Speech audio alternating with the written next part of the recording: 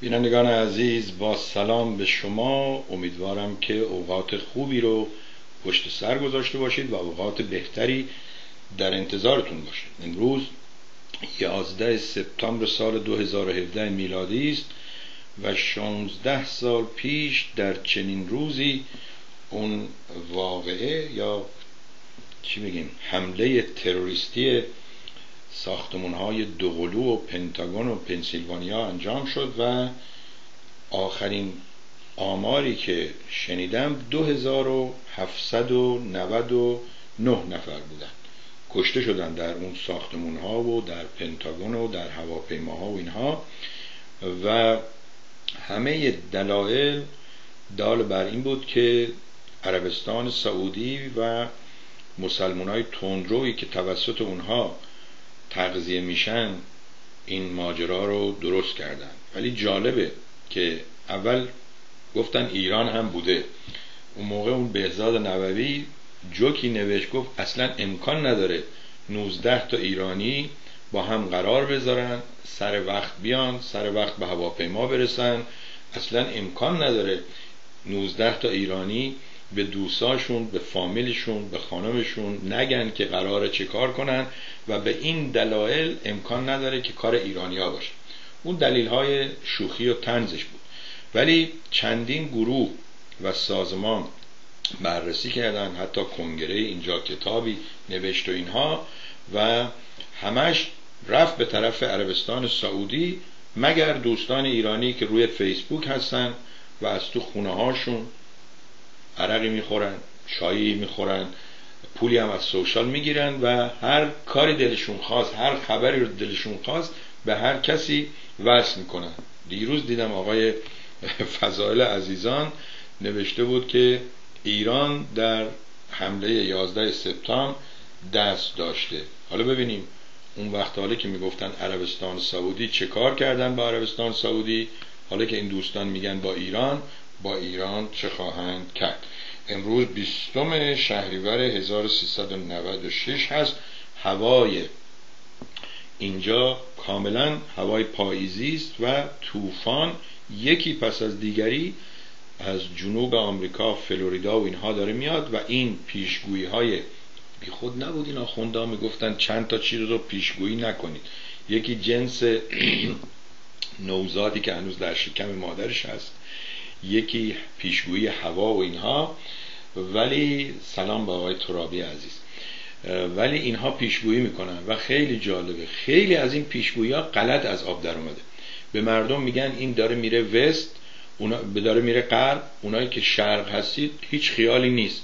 بعد این بیچاره وستیا بلند میشن میرن شرق. بعد بهشون میگه نه نه نه داره میاد شرق. همه حالا بلند بریم اون یک افتضایی که نگو و نپرس ولی خب بالاخره اونها هم انسان هستند مثل من و شما و هیچ به اصطلاح چاره ای ندارن جز به این وسایل جدید های تک اطمینان کنن و دیگه اون خود شما هستید که تصمیم بگیرید چه باید کرد. اجازه بدید در رابطه با چه باید کرد من اول این صفحه رو یا این ویدیو یا این برنامه رو با صفحه ویدیوی مردم تیوی هم شیر کنم. شیر پیج و مسیج. بله اینجا بنویسم سوربی با مردم. شما دوستان هم این کار را انجام بدید. بعد من امروز می‌خواستم چون مهمون داریم ساعت سه بعد از ظهر با آقای چمنارا هستیم و حدود 16 دقیقه هم دوستمون اون برنامه های هفتگی دوشنبه رو فرستادن با شما چهل دقیقه چهل و چهار دقیقه باشم و فقط خبرها و اینها رو بگم. بعد گفتم خبرها رو که شما زودتر از من می‌دونید. اگه تو اروپا باشید که خبرها رو خوندید و شامتون هم الان خوردید و الان موقع تلویزیون تماشا کردن و خندیدن. اگرم اینجا باشید بالاخره صبح زودتر از ما بیدار شدید و خبرها رو خوندید. اگرم مثل سعید در مکزیک باشید که نمی‌دونم ولی عکسای بسیار زیبایی فرستاده بود.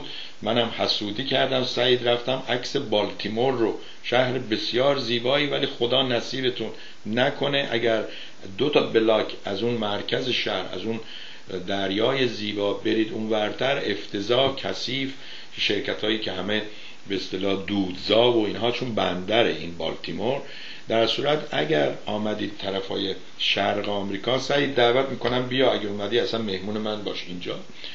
و چیز کن به اصطلاح بالتیمور رو هم که 45 دقیقه ای یا یک ساعتی اینجاست حتما ببینید و البته برای شما کالیفرنیا که یه قدم میرید اون ور مکزیک یه قدم میرید اون ور به اصطلاح چیزای زیبا خودتون هست ممکنه خیلی جالب نباشه و فقط برای ما ندید بدیدا اینجور باشه.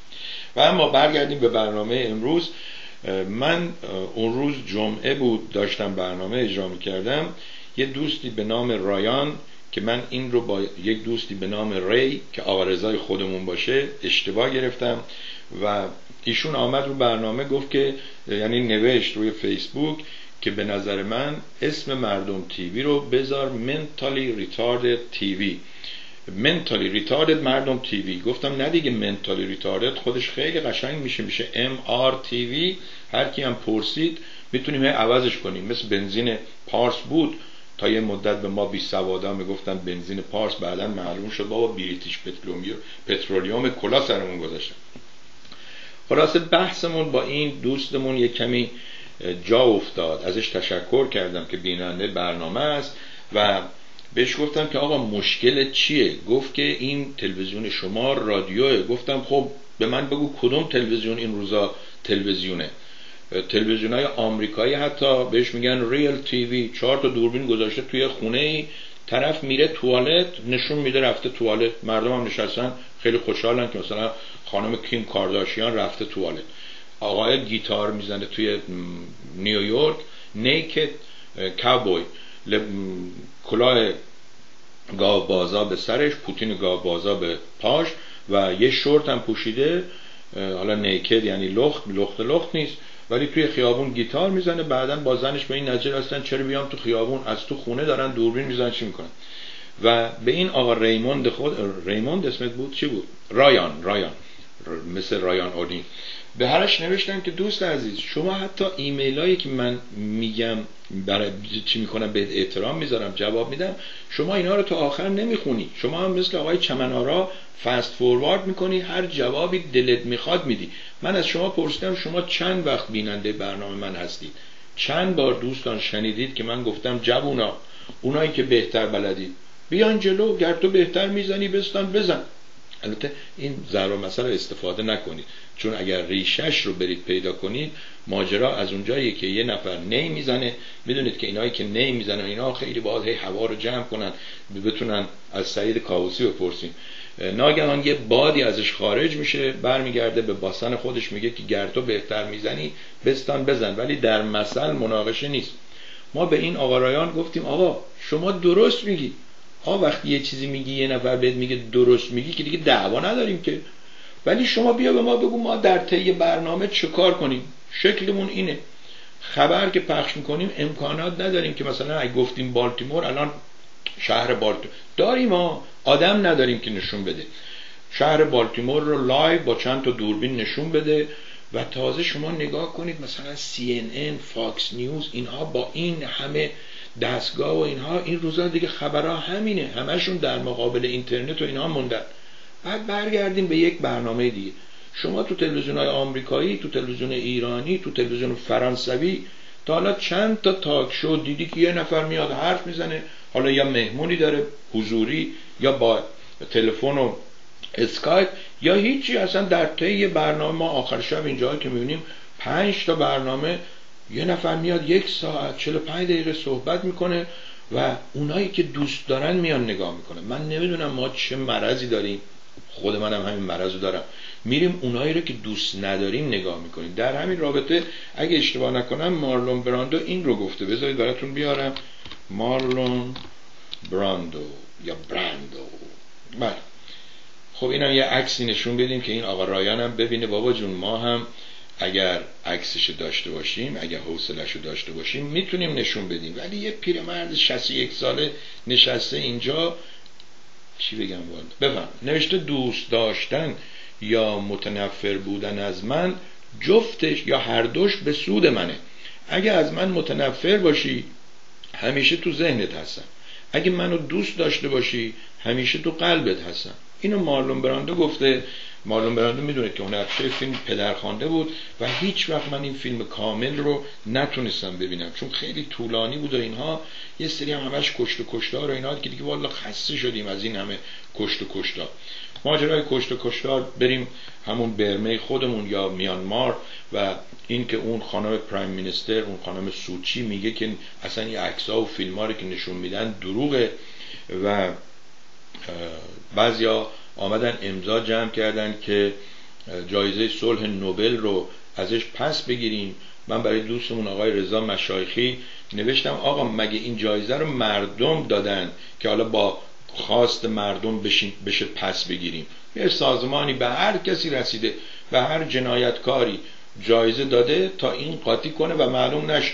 از نمی‌دونم مناخیم بگیم بوده یا این مال چیز کی بود؟ مال اسرائیل. بهش جایزه صلح دادن به خانم شیرین عباد جایزه صلح دادن به این اوباما هنوز نیامده عرقش خوش نشده جایزه صلح دادن. خودش مونده بود که برای چی به این جایزه صلح دادن؟ در هر صورت. ولی بعد دیدم که 85 هزار تا امضا نمی‌دونم 100 هزار تا امضا و اینها. ولی بعد یه دوستی نوشت نه آقا اصلا قرار نشده ازش بگیرن. گفتیم که در بیخبری مهران صد مرحله من پیشم. تو بیخبر از سوچی فامیل این خانمه من بیخبر از خیشم. جالب اینجاست که بعد یه آقایی اومده بود زیرش نوشته بود آقای سوربی شما نوشته های کسی که تیر خلاص می‌زنه گذاشتی اینجا. گفتم والا این که تیر خلاص می‌زنه کیه؟ اولا خیلی جالبه. اگه کسی تیر خلاص زن بوده تمام مشتریاش باید او دنیا باشن. شماها چجوری می‌دونید مثلا آقای احمدی نژاد تیر خلاص می‌زده؟ چون این خیلی بده. هر جا میشینیم بگیم آقا با سربی که می‌شناسی سربی تیر خلاص زن بوده. خب بعد می‌رسیم به اونجایی که مثل آقای منتظری میگن اول انقلاب نشسته بود. بیچاره اول انقلاب طرفدار خمینی بود دیگه. با حال و با شور و هیجان تعریف می‌کرد که آقا این زندان های شاه خیلی بد بود. یا با آدم تجاوز می‌کردن یا آدم رو میکشتن. بعد یکم فکر کرد دید این زنده است. گو البته منو کشتن. حالا دوست عزیز من چه می‌دونم کیا تیر خلاص زن بودن؟ بعد من فکر نمی کنم اینایی که اینجوری می‌زنن یه دفعه سه هزار نفر رو توی روز می‌کشن به دستور آقای خمینی آقای نخست وزیر نمی‌دونم موسوی رئیس جمهور خامنه ای اصلا اینا نگران این باشن که حالا مثلا من یا علی ترابی داریم زج می‌کشیم تیر خورده تو سینمون هنوز نمردیم بیان یه تیرم بزنن تو سرمون. من فکر نمی‌دونم. اگه شما می‌شناسی اگه شما بودی تیر زدن تیر خلاص هم نجاتت نداده خب بیا جلو بگو کی بودی کجا بودی و الی آخر. و اما ساعت دو چهل و چهار دقیقه سعی می‌کنم برنامه شماره 19 دوستمون از خلیج فارس رو براتون پخش کنم. خیلی ممنون. پیام های آقای چمنارا رو که دو تا پیام گذاشته بود من دیروز شنیدم و خیلی جالبه. آقای چمنارا شما کم کم تکنیک این کار رادیو تلویزیون رو داری یاد می‌گیری. همینجوری که من این آقای رایان گفتم یا ریموند رایان رو سالهاست به گفته خودش با وجودی که آمده تیوی نگاه کنه ولی ما داریم بهش رادیو یه تصویری تحویل میدیم. تونستم اسیر و عبیرش کنم و اینجا نگهش بدارم. مثل اینکه یه زنجیر نامرئی از اینجا من از اقیانوس فرستادم. اونور تو فرانسه اینو بستم.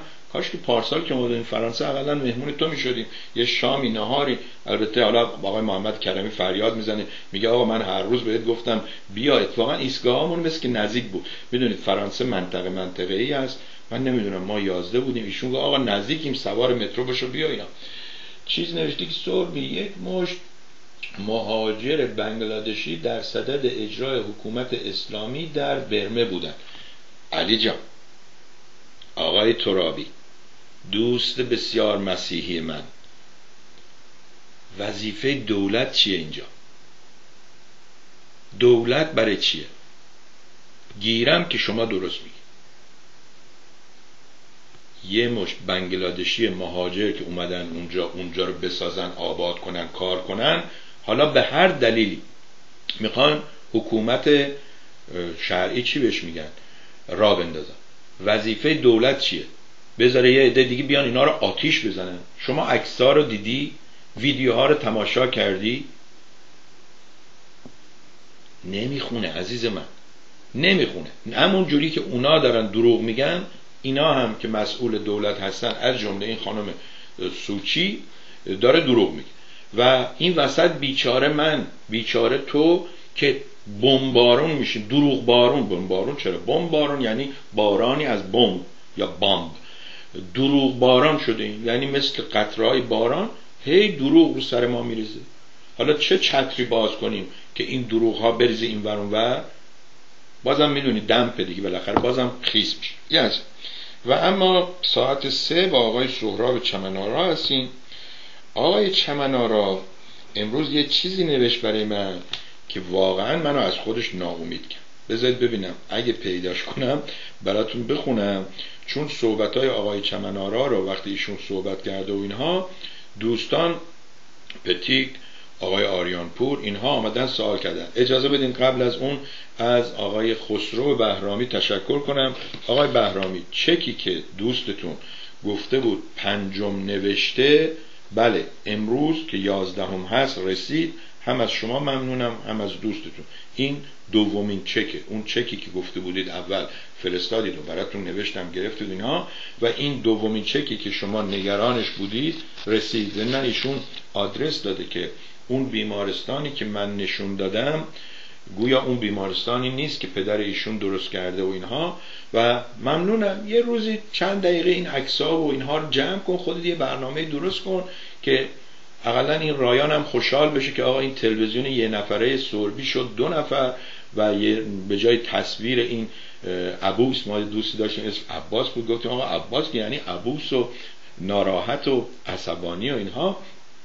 و بلکه از دیدن چهره ما اگه خسته شدن بتونن برنامه های به اصطلاح آقای خسرو بهرامی و دیگران رو ببینن. اتفاقا خسرو بهرامی قبلا هم می‌خواست که یه برنامه بذاره ولی بهتون گفتم این دوستان روزی که میان اینجوریه. میان ساعت دو مینا اه سربی اینجاست. من میگم خب کاری نداره که.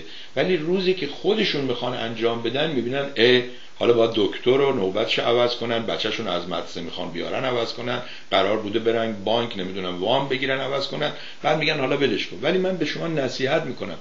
برنامه زنده سر یه ساعت معینی نذارید. شاید خود منم اصلا این کارو به اصطلاح به زودی ول کنم و این آن دیمند بذارم. یعنی من برنامه درست می‌کنم شما هر وقت وقت داشتید تماشا می‌کنید. این هم از این ماجرا. و منتظر شما هستیم ولی بذارید ببینم آقای چمنارا رو می‌تونم با آره آقای چمنارا شما یه سیستم جدیدی رو ایمیل استفاده می‌کنید. به جای اسم شما مینسه first name last name. یا روزی که شما ساین اپ کردید اونجایی که نوشته first name باید اسمتون رو نوشتید. اونجایی که نوشته last name باید اسمتون رو نوشتید ننوشتید این برای ما اینو میفرسته. و من وقتی می‌خوام شما رو ایمیل شما رو پیدا کنم قدیما تا می‌زدم چمن آرا می‌شد و هویدا می‌شد ولی الان نمیشه. آقای سوربی علت و انگیزه مناظره امروز ما مزخرفات گفته شده در تلویزیون مردم درباره قانون اساسی زرتشت و شاهنامه خواهند بود. اولا ای کاش گفته بودید این مزخرفات توسط کی؟ توسط دوستمون از خلیج فارس که میگه ما شرقی ها احساساتی هستیم. این غربی ها منطقی هستن و این احساسات ما رو بیچاره کرده. به اون میگید مزخرفات. منی که میام میگم آقا طبق شما میگی برو تاریخ بخون. میرم تاریخ می‌خونم. برات عکس سر بریده کوروش رو میارم. توی تشت قونین برات مادر ازادار رو میارم. میگی اونا رو بریز دور. شد مثل همون که گفت آقا از اینجا میری میری میری. دست راست یه سینمایی به نام سینما پارامونت. اونو ولش کن. یا آقا ما گرفته بودیمش که ولش کن. اینقدر مغز ما رو می‌بره اینجا بعد میگی ولش کن برو اونجا. بله. تیمسار آریان پور فردی مورد احترام من هستند. هم به علت صداقت و دانش ایشان و هم به خاطر نظامی بودنشان که خود من هم در خانواده نظامی بزرگ شدم.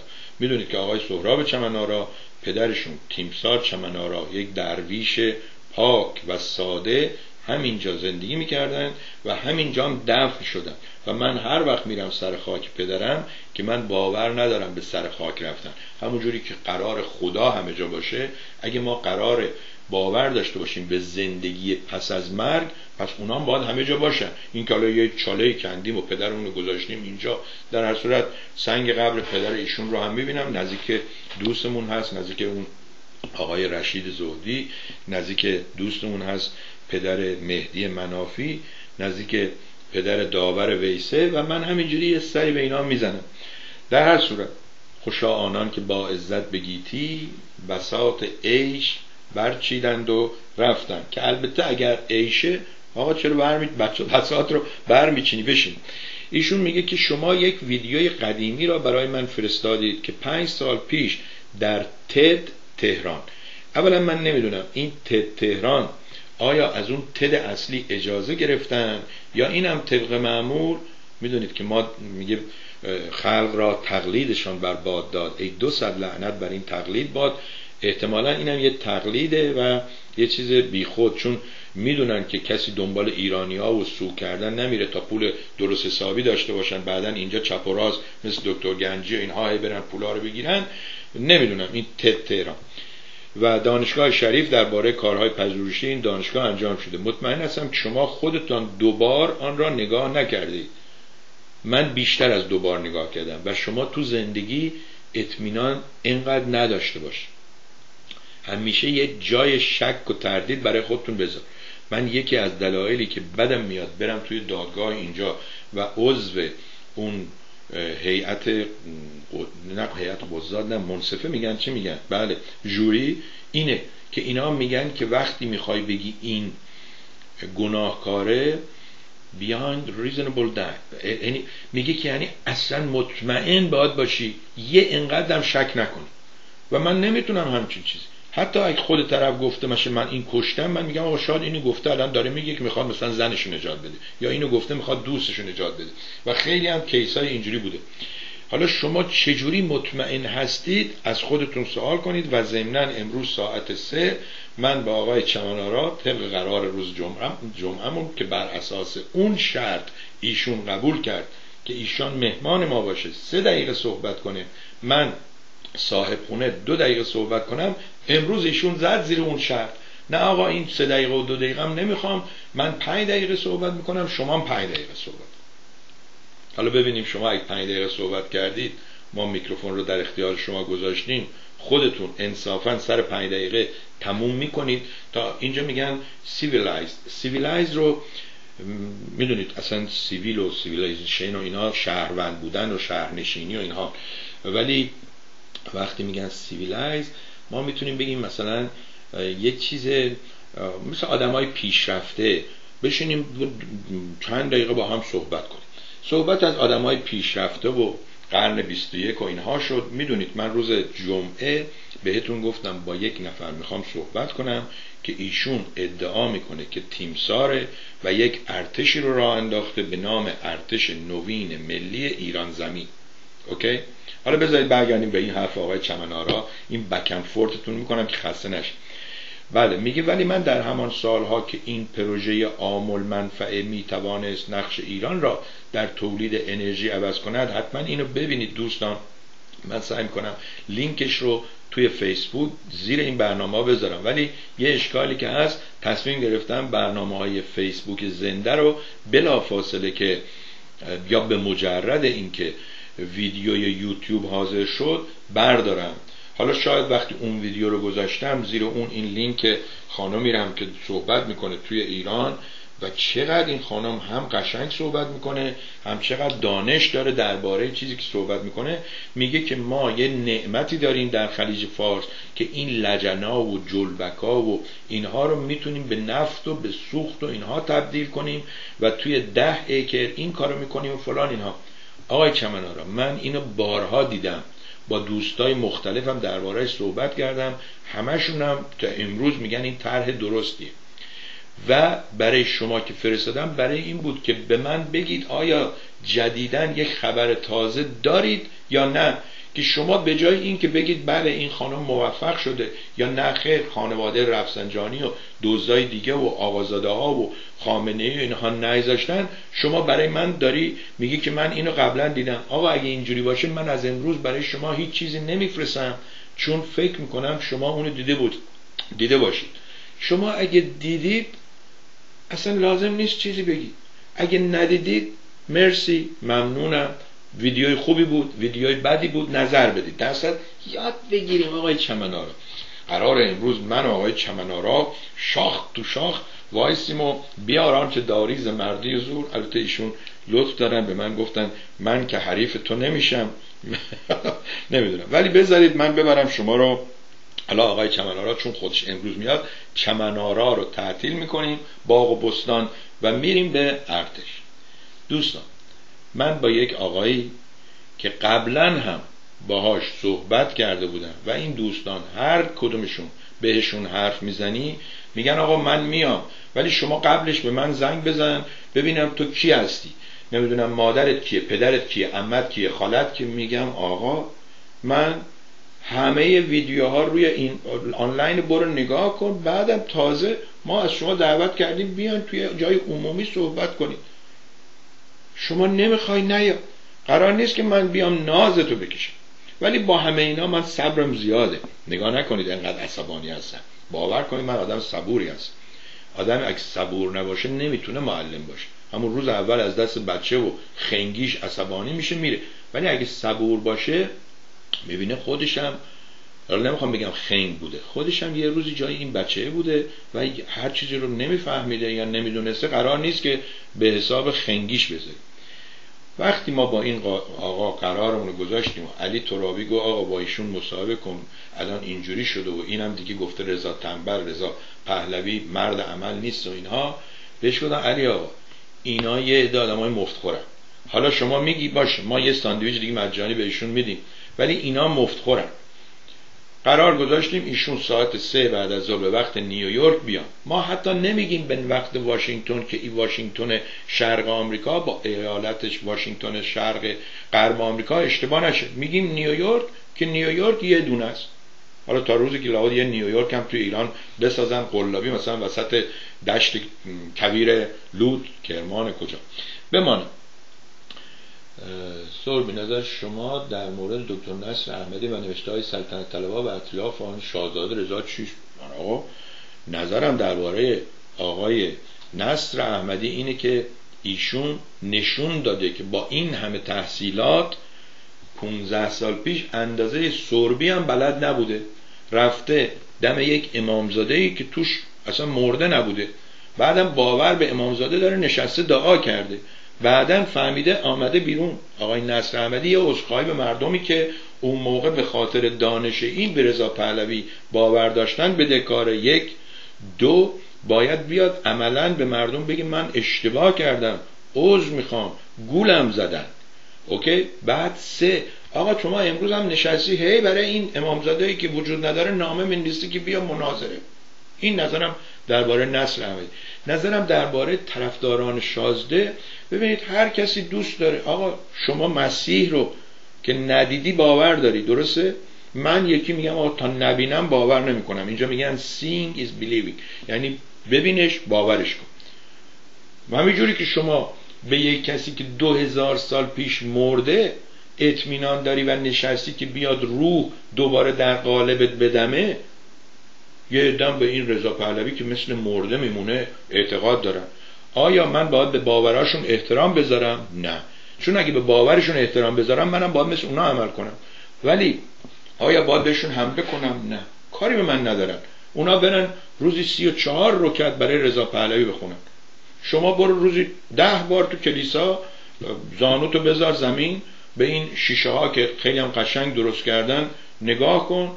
و امیدوار باش که دنیا رو خون بگیره و این مسیحا مسایا اینجا میگن با اسب بیا تو اسب سفید و اینها. این اسب سفید همون رخش رستمه. مسیحا همون رستمه. هیچ کدوم نه وجود داشتن نه خواهند آمد. اگرم وجود داشتن خودشون این روزا اگه بیان و ببینن من و شما چه مزخرفاتی درباره اینها میگیم اینا حالا از اون بالا یا از اون پایین میخندن میگن اینا دیگه چه خلایند؟ گفتم از من سوال نکن علی جان در حین برنامه ممکنه یه وقت ناراحت بشی. ولی اب نداره هم شهریم هستی هم مدرسه این بودی و دوست داریم به قول شیرازی دوست میداریم و اما ارتش نوین ایران من این سفر رو بهتون نشون میدم. وقتی که من قرار گذاشتم با این آقا باش مصاحبه کنم بهش گفتم آقا بیا تو اسکایپ. اومده زنگ می‌زنه میگه که بیا توی فیسبوک. بهش میگم عزیز من من با فیسبوک با کسی صحبت نمی کنم صحبتی ندارم. بذارید اینجا ببینیم که چرا این هی میپره. اینجا رو بهتون نشون بدم. ساعت ها رو با دقت ببینید که ما اینجا هیچ چیزی بدون سند و مدرک نداریم. ببینید این بالا نوشته ارتش نوین ملی ایران. بعد آمدیم پایین ما ایشون فرستاده ما قبول کردیم اینها. درود وقتتان نیکو خسته نباشید حالا من نمی‌دونم مثلا ایشون هم وقتی میره با داداشش صحبت می‌کنه به داداشش میگه درود وقتتان نیکو. یا میگه کاکو سلام علیکم. یا مثلا کرد باشه میگه کرا چطوری؟ یا نمی‌دونم. در اصل ببینید دوستان من ساعت دو و پنجاه و هشت دقیقه. بابا یکم ما این مرتب بودن این خارجی ها رو ازشون ورداشتیم. اون شعره چی بود؟ میگو ما از قرآن نمی‌دونم وسطش ورداشتیم مغزش ورداشتیم پوستش رو گذاشتیم برای دیوونه ها ببینید دو پنجاه و هشت دقیقه برای ایشون نوشتم حاضر هستید؟ تا امروز چند بار برای ایشون نوشتم من تو واشنگتن هستم. شما کجا هستی؟ می‌خوام ببینم می‌تونم با ایشون انگلیسی صحبت کنم. باید فارسی بنویسم. اینها در صورت با انگلیسی فنگلیش نوشتم حاضر هستید؟ ایشون جواب نداده. سه بعد از ظهر من تماس گرفتم نوشته نو no انسر سه و یک دقیقه تماس گرفتم. توی برنامه جمعه هم اگه برید نگاه کنید می‌بینید. تماس باز جواب نداده. باز سه و یک دقیقه می‌دونید وقتی اینجا این سه و یک دقیقه ممکنه یکیش اول سه و یک دقیقه یکیش آخر سه و یک دقیقه. در هر صورت سه بار ما تماس گرفتیم. ایشون جواب نداده. گویا بعدش با آقای علی ترابی تماس گرفته. آقای علی ترابی گفته آقا جون این سوربی تو برنامه به شما زنگ زد و شما یک ساعت بعد به من زنگ می‌زنید. خلاص ایشون لطف کرده زنگ زده. دوستان نگاه کنید این تیمسار مملکت ماست که یعنی تیمسار دوره شاه. نه مثل آخونده احمق و خله مثل شاهنشاه آریامر با سواد با کلاس و ببینید پیام گذاشتن ایشون رو. با هم بشنوید.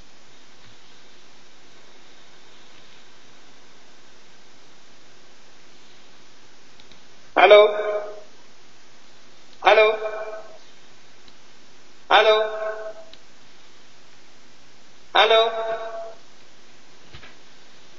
الو الو صدای منو دارید؟ بزرگ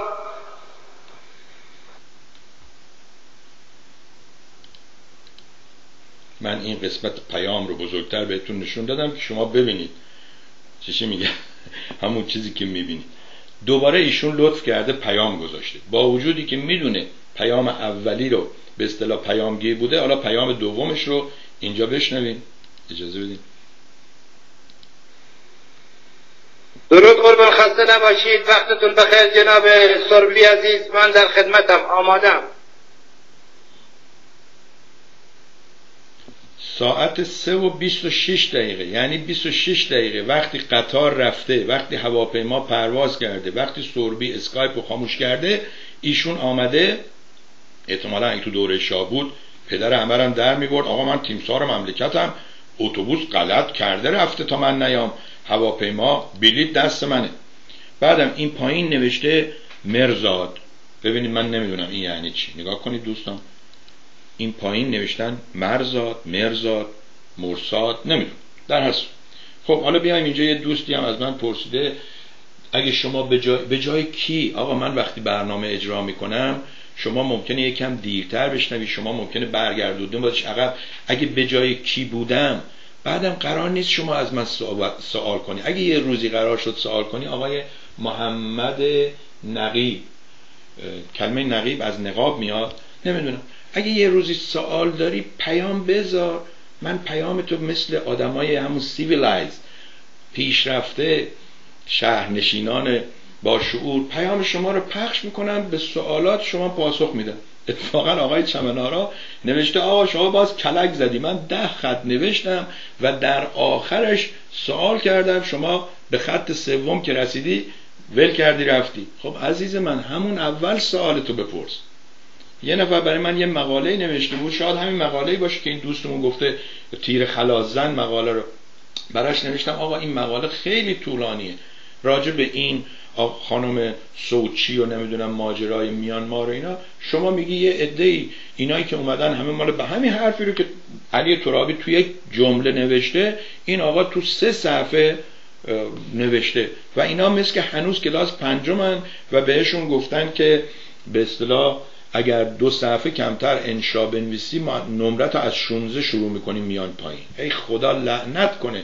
این معلمایی رو که هی به ما گفتن شما باید حتما دراز و طولانی بنویسید. نگفتن کوتاه مفید مختصر با معنی. در هر صورت دوست عزیز آقای محمد نقیب از اینکه بیننده برنامه من هستید بسیار ممنونم لطف کن سوالت رو بنویس. آقا مثلا آقای چمنارا باید می‌رفت ایران. آقا کورش کبیر باید می‌رفت ایران. آقا فلانی باید می‌رفت ایران. من چه می‌دونم شما داری با من سی تا موضوع رو گفتم اومدم بالا. ترامپ باید بره ایران من چه می‌دونم شما کی میگی؟ و اما قشلاق در تونس یا تورس اینا آقای پیمان عارف پیمان عارف. جالبه. ببین اون دوستمون که برای من نوشته بود که دیروز جایی بوده که محسن سازگارا و می‌دونید میگن هر جا آش کچلک فراشه. یه مهمونیایی هست یه عده معین همش دعوت میشن. حالا این مثلا می‌بینی سکولارهای واشنگتن. بعد این ور میگه بادین های واشنگتن باز توش آقای علی افشار هست محسن سازگارا هست. بذارید اینو بیارم. و نگاه کنید باز اینم بهتون نشون بدم. برنامه من چه ساعت شروع شد؟ ساعت دو درست. این دو و بیست و یک دقیقه دوست عزیز ببین آقای پیمان عارف امروز برای من اینو فرستاده که من باز یه شانس به پیمان عارف میدم و اگر خواست باهاش صحبت می‌کنم. به شرطی که بچه پر رو بازی در نیاره. می‌دونید که وقتی ما میگیم بچه پر رو منظورمون بچه فلانه. چون برنامه تلویزیونه ممکنه آقا رایان یه کم این چیزها رو نشنیده باشه بهش بر بخوره ما میگیم بچه پر رو خب ساعت دو و بیست و یک دقیقه. اینو گذاشته. ولی جالبتر از این نوشته اون دوستمون هست که قبل از برنامه برای من فرستاد. و بذارید براتون یه چیزی بگم که یک تنوع ایجاد بشه. من تا ساعت دوازده و چل دقیقه منتظر یه نفر بودم. بعد برای من نوشت که من امروز نمی‌تونم بیام. فردا تو آرلینگتون ویرجینیا هستم از مریلند و فردا میام. گفتم باشه. گفتم خب برایش دوستان می منم حالا میپرم تو خزینه و اینا که از خزینه ایراد می‌گیرن دوستان هیچ فرقی با این جکوزی داره که میری مثلا Holiday Spa Spa که تعطیل شد. میری LA Fitness بعد میری اونجا معمولا هم همه پیرمرد مثل من نشستن. حالا خدا می‌دونه روزی چند تاشون روزی یه بار دوش می‌گیرن ولی روزی چند بار دستشویی توالت میرن. بعد شما میری توش آبم گرمه. آیا این فرقی با خزینه داره؟ اگه شما فکر می‌کنید اون سیستمی که کلور می‌زنن و فیلتر می‌زنن پاک می‌کنه برید سیستم خزینه ها و اینها رو هم ببینید که چه کار می‌کردن. که با حرارت خیلی زیاد اون کسافت ها رو میسوزوندن و می‌دونید هر چیزی که سوخته بشه به یک حرارت که برسه دیگه اون پاک مثل خاکستر. خاکستر شما ببخشید اینو میگم فضله هم بسوزونی میشه خاکستر اون خاکستره دیگه پاک. چه موضوعات جالبی من تو این برنامه بهتون میگم. بیام نوشته این آقای چی بود؟ شین شین شان شان. والا بلا نکنید این کارو. دوست عزیز فیسبوک یعنی اینکه face صورت book. یعنی یک کتابی باز می‌کنیم بعد میگه اه این سربی میشناسمش. این علی ترابی عجب جانوری بود این تو هنرستان. اه این آقای حاج معلمه. اه این هادی معلمی فیس بوک شن شن فرامرز فرزانه یکی دیگهش نوشته بود آقا فیاض. میگم آقا اگه یه نفر با شما تو دبستان هم کلاس بوده باشه اسم شما یا فامیل شما فیاضه حالا اسم نمی‌دونم چیه امروز بخواد دنبالت بگرده چجوری می‌تونه تو رو پیدا کنه؟ اگر دنبال این کار نیستی اصلا دیگه چرا میگه آقا فیاض؟ برو بریم مستر نمی‌دونم. اینا به لولو چی میگن؟ بوگی من. در هر بذارید من براتون اینو توی مسنجر باز کنم که لعنت کنه این فیسبوک رو از روزی که مسنجر رو درست کرد پیام ها رو کوچیکتر نشون میده ویدیوها رو زشت کوچیکتر نشون میده مگر اینکه تو مسنجر باز کنیم مسنجر یه صفحه دیگه میشه بعد با فیسبوک اشتباه می‌کنیم ببینید من نوشته این دوستمون رو براتون می‌ذارم نشون میدم. البته ایشون ساندی ساعت 11 و 31 نوشته. خب دیگه دیشب آخر شب بوده. بنده اینجا نبودم. من امروز صبح که اومدم اینجا خوندم و بهشون جواب دادم. خدایا این سیستم ما هم نمی‌دونم چرا بار اولش اطفال میریزه بار دومش کار می‌کنه. اوکی. شما می‌بینید الان اینو؟ نه خب عوض نکردی که ما ببینید حالا می‌بینید؟ اگه می‌بینید بگید نمی‌بینم. دیدید میرید توی مهمونی؟ میگه صدا خوبه. بعد طرف میگه نه آقا صدا نمیاد. میگه خب اگه صدا نمیاد تو چجوری شنیدی من گفتم صدا خوبه یا نه؟ ایشون این آقای شانشان شنشن شنشن نوشته که آقا آقا پارسا آقا پارسای سربی می‌خوام بگم شما خیلی دشمن داری. خب دست درد نکن. این همه خبر بد نمی‌شد شما یه خبر خوب به ما بدی؟ من در یک محفل جشن 90 نفره بودم. برایش نوشتم آقا بنویس ختم سرون آقای سازگارا بوده. اکبر عطری من نمی‌شناسم. نوشته در آنجا محسن سازگارا اکبر عطری علی افشاری و خیلی دوستان آنها در آنجا بودند خب همون دی گفتم دیگه هر جا آشه کچلا فراش این حزب کچلان بوده. بحث مصاحبه تلویزیونی شما با یک نفر بر ضد پیمان عارف صحبت شد. این غلط جملت عزیزم. بحث اون صحبت شد غلط. آنها از عارف دفاع کردند و بر ضد شما صحبت کردند. خب ببینید چقدر احمق من که آقای عارف پیمان رو نمی‌شناسم. اون آقای جهانگیر شادانلو آمده میگه این آقای عارف پیمان باهاش تماس گرفته اینجوری بوده توی جلسه نمی‌دونم پول داده آمده شرکت کرده ما اینجا بلنگو دادیم. دستش صحبت کرده از عارف پیمانم دعوت کردیم بیاد صحبت کنه. حالا آقای محسن سازگارا که سازنده سپاه پاسدارانه اگه آقای علی, علی افشاری که خودش یکی از همین مسلمون ها هست هنوزم اینجا وقتی صحبت می‌کنه چیزای مسلمونی توشه. به من چه؟ و بر ضد شما صحبت کردن. گفته بودن سربی با به همه بر به همه نامه می‌زنه. 50 یا 100 دلار پول. بیایید مصاحبه کنید. به یکی یکیشون بگو که چی بگم والا؟ آدم با فوش بده دیگه. مهمون اینجا مجانی دوستم. ولی بارها گفتم مهمون مثل نفس تازه است.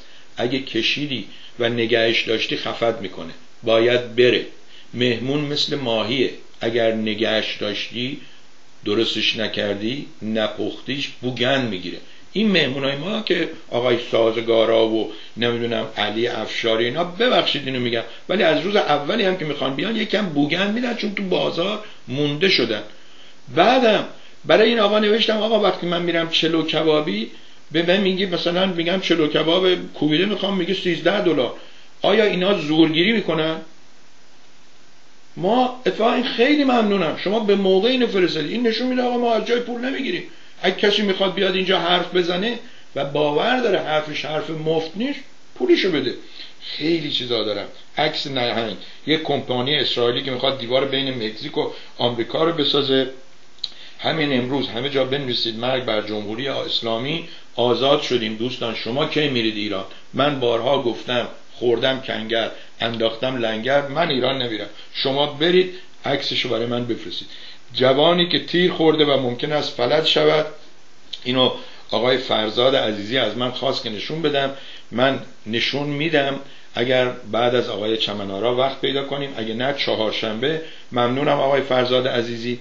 ولی اجازه بدید بریم این صحبت های دوستمون نوزدهمین برنامه عقل بشر رو بشنویم. کجا؟ پلیر چهار. این شروع کنه به بازی کردن و چرخوندن منم ساکت. با سلام بر شما باز هم مزاحم شده و گفتاری درباره عقل بشر تقدیم حضورتان می کنم با گذشت میلیون ها سال از آغاز سکونت انسان بر این کره آیا عقل بشری تغییری کرده؟ آری. تغییر در آموزش و منحصر به استفاده از دستگاه های نوین و مدرن بوده. مثلا انسان قبلا میبایست سوار شدن بر چهار پا را فرا می‌گرفت. امروز دانش رانندگی اتومبیل و هلیکوپتر و هواپیما و غیره را باید بداند. در گذشته برای هر وعده غذا میبایست اندیشیده و زحمت می‌کشید. اکنون با استفاده از وسایل نو فعالیتی دیگر دارد. برای انجام همه این فعالیت ها عقل انسان با گذشته زمان تغییر یافته و تجدید طرز و استفاده را آموخته. از این رو فرزندان شما و آیندگان با وسایلی آشنا خواهند شد که امروز ما در اختیار نداریم و طرز استفاده از آن را در خیال هم نمی تصوریم مغزمون تغییر به پیشرفت پیشرفت تکنولوژی را فرا گرفته. اما نسبت به امور دیگر تغییری نکرده. هنوز عوامل گذشته در مغز فعال هستند. این عدم تغییر را در کشورهای عقب افتاده بهتر و واضحتر میابید بیایید با هم کشورمان را زیر ذره بین بگذاریم. طی تاریخ طولانی ایران تغییر بزرگی در سبک زندگی مردم رخ نداده. انقلابی صنعتی و یا فرهنگی را تجربه نکردیم. آنچه را که در چارچوب مدرنیزه به دست آوردیم بر ما وارد شد. استفاده از دستگاه ها را فرا گرفتیم اما در مغز ما تغییری ایجاد نکرد. به قولی سوار بر هواپیما شدیم ولی مغزمان مانند زیرمان بر زین چهار پا خشکید. علت اصلی این عدم پیشرفت انباشته های مغزی است. غرب و یا اروپا با قطع نفوذ کلیسا و دور کردنش از دخالت در امور روزمره تغییر اساسی را آغاز کرد. با اختراع وسایل کشتار و به هدف گسترش و نفوذیابی نفوذیابی دو امپراتوری عثمانی و فارسی را طی چهار قرن به جان هم انداخت. به دو به هر دو طرز ساختن توپ و وسایل جنگی نوین را فرار دادند و خلافی بی تأثیر در زندگی را موجب ستیز ساختند که بعد از پیامبر چه کسی میبایست به خلافت می‌رسید؟ نتیجه این اختلاف بیفایده و بیمعنی و بی تأثیر در زندگی دو ملت این نتیجه را به بار آورد که دو امپراتوری دنیای آن زمان متلاشی شده و زمینهایشان را نیروی استعمار اروپایی به غارت برده و میان خود تقسیم کردند. چرا ما اینقدر بازیچه شدیم؟ علت اصلی عدم احترام به دانش است. عدم قبول اینکه انسان طوری آفریده شده که میباید پیشرفت کند.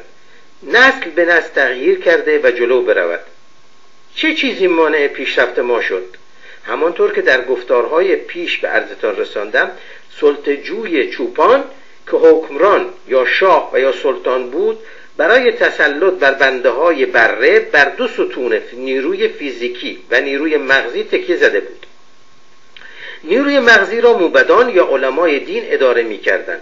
همه به درگاه پروردگار تندرستی و طول عمر حکمرانان زمان را پایه نیایش می دانستند. زیرا دارای خونی متفاوت و از جنسی دیگر می شناختنشان. این ستون عقیدتی چنان بر مغزها مسلط بود که نمی‌شد انجام کاری را بدون موافقت و یا رضایتشان انجام داد همه مسائل زندگی را آنان تعیین کرده و خوب یا بد بودنش را برای مردم تجویز می‌کردند در دورترین اجتماع بشری چون دهات ملا همه کاره بود. تمام کارهایی را که امروز اداره های مختلف دولت انجام می‌دهند یک ملا به تنهایی در شهر و روستا بر عهده داشت. اولین کار این ملاها متوقف کردن مغز از اندیشیدن بود. بنابر عقیده های دینی مغز قدرت فکر کردن نسبی دارد و نمی‌تواند به طور مطلق عمل کند. باید در خدمت دین مشغول عبادت و هدفش رستگاری روان باشد. این کوچک کردن مغز انسان و ادامه قرار دادنش زیر تسلط آخوند به ملتهای عقب افتاده بزرگترین مصیبت را وارد کرد. هر چیزی نوین حرام بود. هر اقدامی به سوی فراگیری دانش غیر از فقه و اصول دین ممنوع. تمام مدرسه های, مدرسه ها دینی بودند. برنامه های آموزشیش مسائل دینی. فقط آنان درست می اندیشیدند و مردم آفریده خدا می بایست مغزشان را در اختیار این نیروی آخرت فروش قرار دهند. اگر آقایون فراموش کرده اند که تمام وسایل مدرن را حرام کرده بودند و اکنون از آن استفاده می کنند ما و صفحه های تاریخ مستند از یاد نمی‌بریم. عموما انسان مغزش را هنگام ناچارگی یا زیر فشار به کار می اندازد آقای خمینی در بهشت زهرا اسلحه ارتش را ناچیز خواندند. هنگام جنگ برای هر قطعه در تمام دنیا به دریوزگی افتادند. این بیچارگی و ناچاری سبب شد که ایران خود اسلحه بسازد و سر پا بایستد. این تغییر در اندیشیدن و سپس رفتار به علت سستی و ناتوانی است. که تجربه شد و نه ابتکار و اندیشیدن و بهتر شدن و یا تغییر روش ملاگری. در حدود 150 سال پیش وسایل مدرن غرب به سوی ایران سرازیر گشت. این وسایل همانطور که گفتم همگی حرام بودند. باز به علت ناچارگی در برابر سیل پیشرفت آخوندها خم شدند.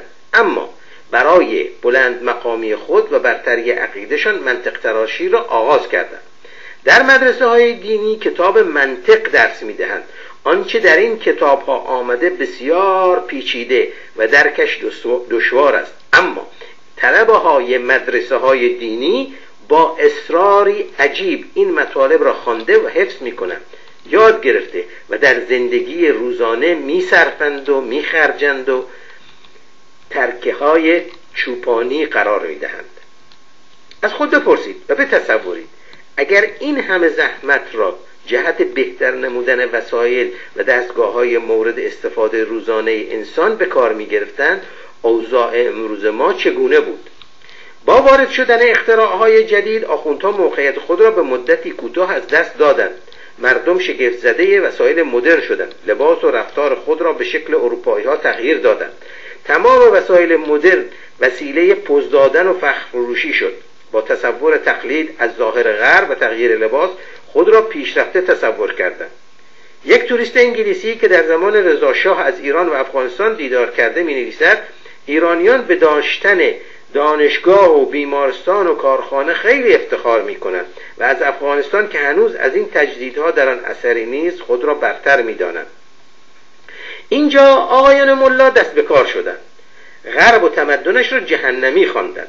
و در حال استفاده از اختراعهایش بی ایمانی آنان را هدف حمله قرار دادند. زیرا ما ایمان به دینی داریم که همه بهش متعلق به ماست و بدین سبب ملتی برتر از اروپایان هستند هستیم. گفتند درست است که غرب پیش رفت کرده اما آنها جهنمی هستند. زیرا زنانشان فاحشگری می کنند و مردانشان دیوس می باشند و هرگز عاقبت به خیر نخواهند شد. در قرآن و حدیث ها و روایات سندها یافتند که ادعاهایشان را از هزاران سال قبل پیش بینی و ثابت می کرد این اندیشه به مغزشان خطور نکرد که به دانشجویی و فراگیری از پیشرفت غرب پیروان را دعوت کنند و با دانشی برتر غرب را شکست دهند. چرا؟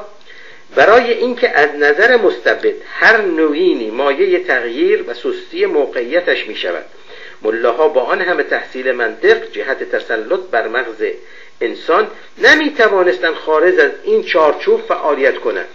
کسانی را که در جهت که جهت دانش به غرب رفته بودند دنبال کردند. به منظور ادامه تسلطشان بر مغز دانشجویان اعزامی به خارج در غرب و در شهرهای آن اروپا مسجد و مرکزهای دینی و حسینیه ساختند. پول زکات و خمس را که ثروتی بیکرانه در راه تسلط بر مغزها و ادامه عقب افتادگی و دوری از فراگیری دانش دانش پیشرو خرج کردند. این اقدام توسط اغلب کشورهای اسلامی در اروپا و جهان انجام گرفت زیرا در داخل کشور و آن فرهنگ عمومی کارهای انجام شدهشان در خارج مورد ستایش قرار می گرفت تمام اختلاف های بیهوده مذهب های اسلامی را در تمام دنیا پخش کردند. اختلاف هایی تأسیس شد که با اجتهاد یعنی موشکافی در مسائل دینی توسط مجتهدین نمایان گشت و مسلمانان را متفرق کرد. این وضع و اختلاف های مسخره نتیجهش همین است که امروز شاهد هستیم. می‌بینیم جوانان مسلمان متولد شده و تحصیل کرده در غرب داعشی و افراطی می‌شوند.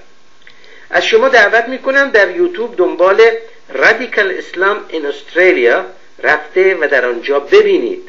در آن قاره دوردست چگونه گروهی از مسلمانان افراطی خودسالان را آموزش داعشی شدن می‌دهند.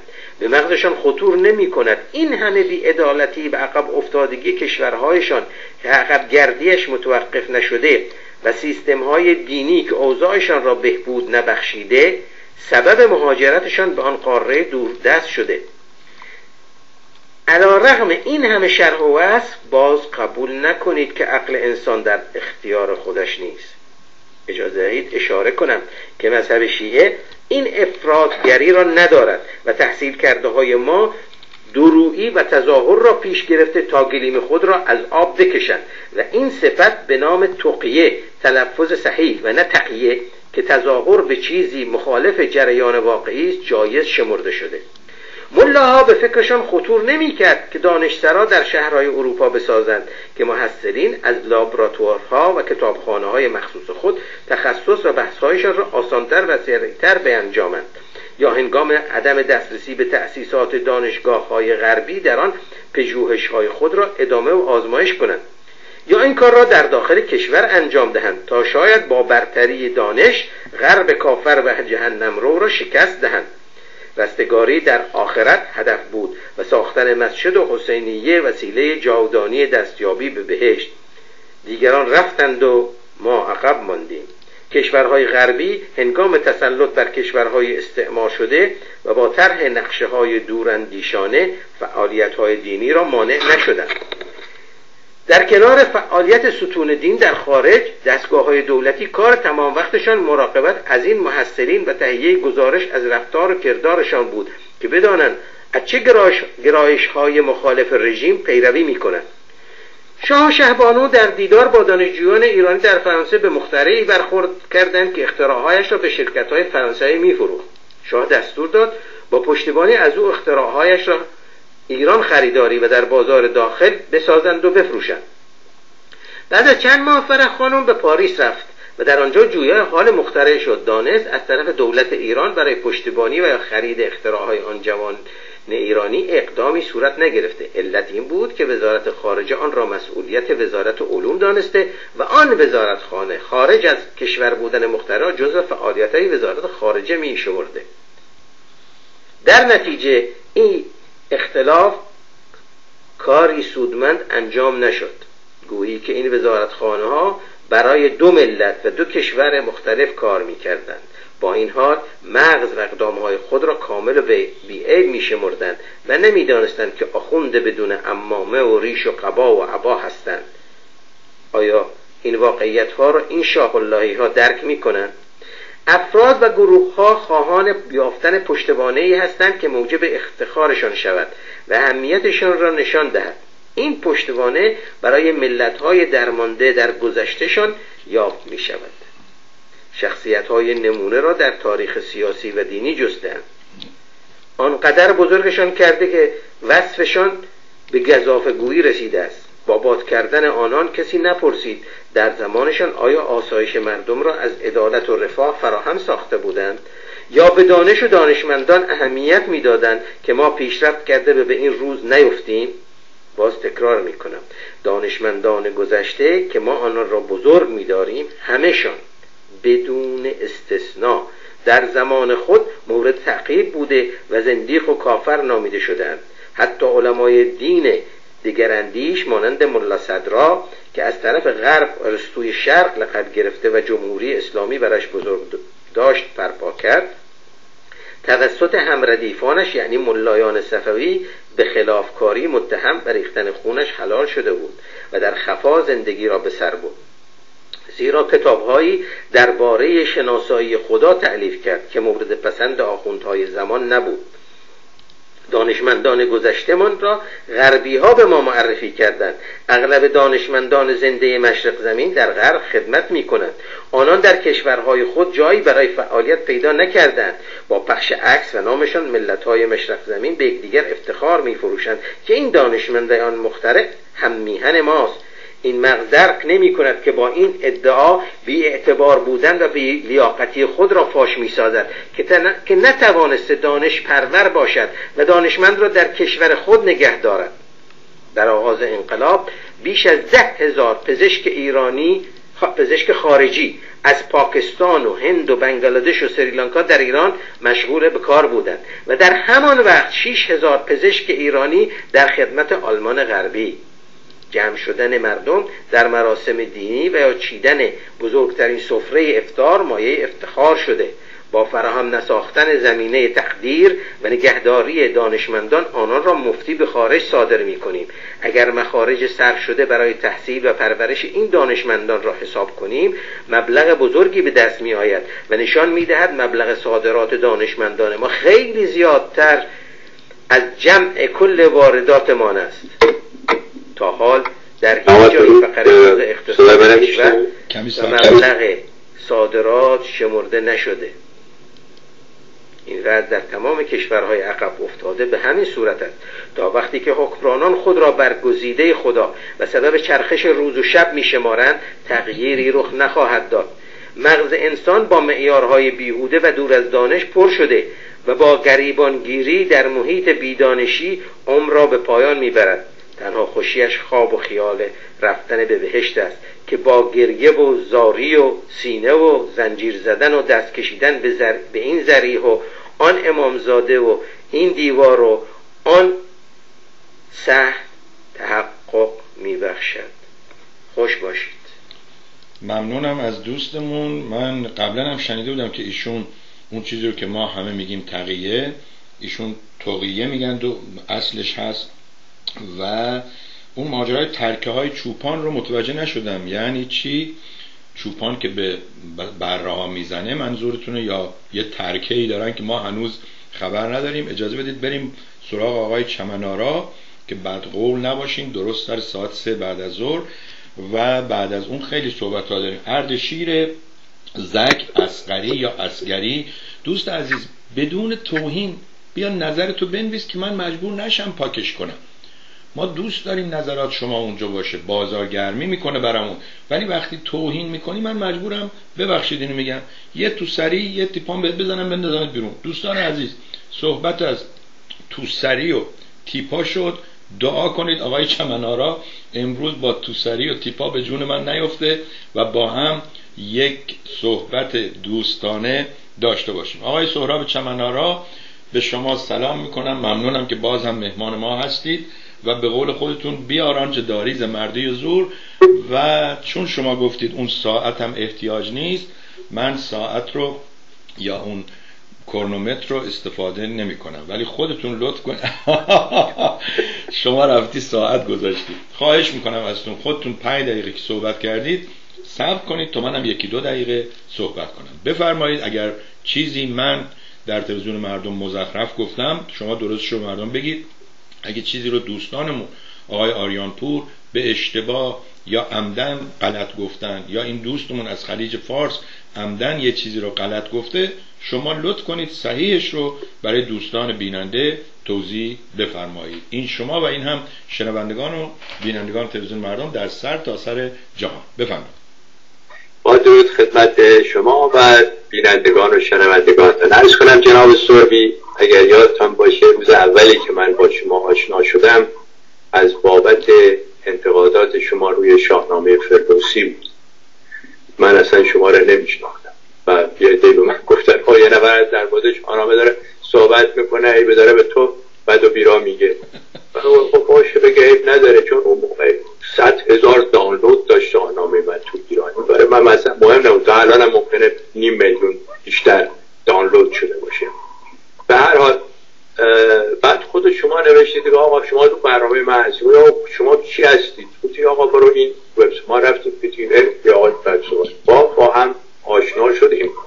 و من گفتم نه این باید من خدمتش حضوری برسم. اونجا حتی باش دست بیخم بشه. با ماشین مزده آمدیم واشنگتن چون اون نزدیک های اونجا بودم بعد آمدم دیدم نه آقا شما خیلی گردن کلاف هستید. ماشاءالله بعدنم فهمیدم که شما کشتیگیر بودید. و گفتم نه با ایشان نمیشه. به اصطلاح شما کرمانشاه یا در از هر چند که ضعیف جسه باشیم ولی زود به احساساتی میشیم. برای آمدم با شما سری کتاب آوردم با شما صحبت کردیم. تمام اینها رو بهتان گفتم و در مورد آبهای زیرزمینی صحبت کردیم.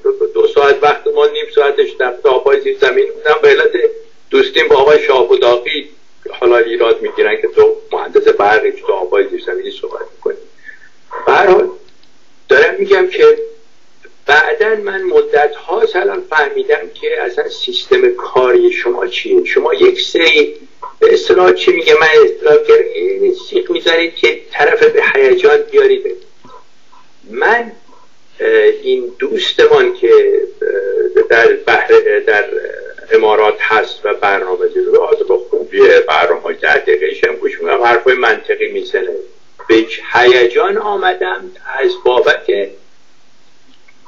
حالا نمیگم مزخرفات و واقعا باید میگم مزخرفات در مورد قانون اساسی و یه ساعت شروع که ده دقیقه پنج دقیقه در مورد آقا این مسخره کرد که آقا این قانون اساسی نوشته برو بابا. بعد آخرش وقتی که پنج دقیقه صحبت می‌کنه میگه خب راه حل چیه؟ شما باید محیط آماده بکنید. نمی‌تونم همه این چیزها رو آماده کردیم اون موقع مملکت مال من بابا جان اینه شما گذاشتی اینه برای اینکه شما آقای سربی شیرفهم بشید که من دارم چی میگم. اینه به صورت چارت نوشتم. هر جا هم که میرم صحبت می‌کنم مثلا زیاد یه ساعت دو ساعت صحبت نمی‌کنم. اینه می‌ذارم جلو. میگم آقا هدف ما تغییر قانون اساسیه. برای رسیدن به این هدف باید در ایران هویتش زنده بشه. این هویت ها چهار چیزه. آموزه های زرتشت نه دین زرتشت لوحه کوروش و مقایسش با مگن کارتا شاهنامه فردوسی و قرآن راستین ما در مورد این چارتا میگیم که آقا این محیط آماده می‌کنه. جواب این دوست شما را من در فیسبوک شما نوشتم. حتی ویدوی آقای خاتمی امام جمعه تهران گذاشتم که گفت آقا هر کی بیاد اینجا ما قانون اساسی طبق چارچوب قانون اساسی کار می‌کنیم. که به ایشان بگم آقا هر کاری که اینها می‌کنن طبق قانون اساسی می‌کنن. بنابراین ما باید قانون اساسی تغییر بدیم نه رژیم بریم سرنگون بکنیم فلانی اعدام بکنیم و اینها. این این. آبا چند دفعه این نشان شما بدم. حالا من در مورد آموزه های زردوش صحبت می‌کنم شما میگه برو اوستاره بخوان این پدر صاحب ساسانه با این حرفا رو من خودم به شما زدم. بعد تمام اینا رو من به شما میگم کوروش مگن کارتا شما یه سر بریدن نشان من میدی. که من سر بریدن داستان چه براتون میگم. من برای شما میگم شاهنامه برو صفحه 34 بخوان صفحه 235 بخوان شما دو خط بالاش می‌خوانی فرخزاد شاه ایران و میگه خب اینم که مثل بابا چهار خط پایینشه بخوان من میگم جواب این آقا من اون پایین دادم. برو حالا شما چی میگیم قرآن راستم که هیچی ازش شما اطلاعات در مورد این نیست. حالا من علت اینی که امروزم آمدم با شما صحبت بکنم فقط همینه. حالا شما آمدی در مورد الچی که چیزی قدیمی ده دوازده سال پیش در دانشگاه شریف اینا داشتن کار می‌کردن روی این. این خانم بعد از وقتی که نتایج آزمایشش به نتیجه رسیده در پنج سال پیش این ویدیو در تد درست کرده. نخیر تد بین المللیه این. یعنی با کمک تد آمریکا این درست شده.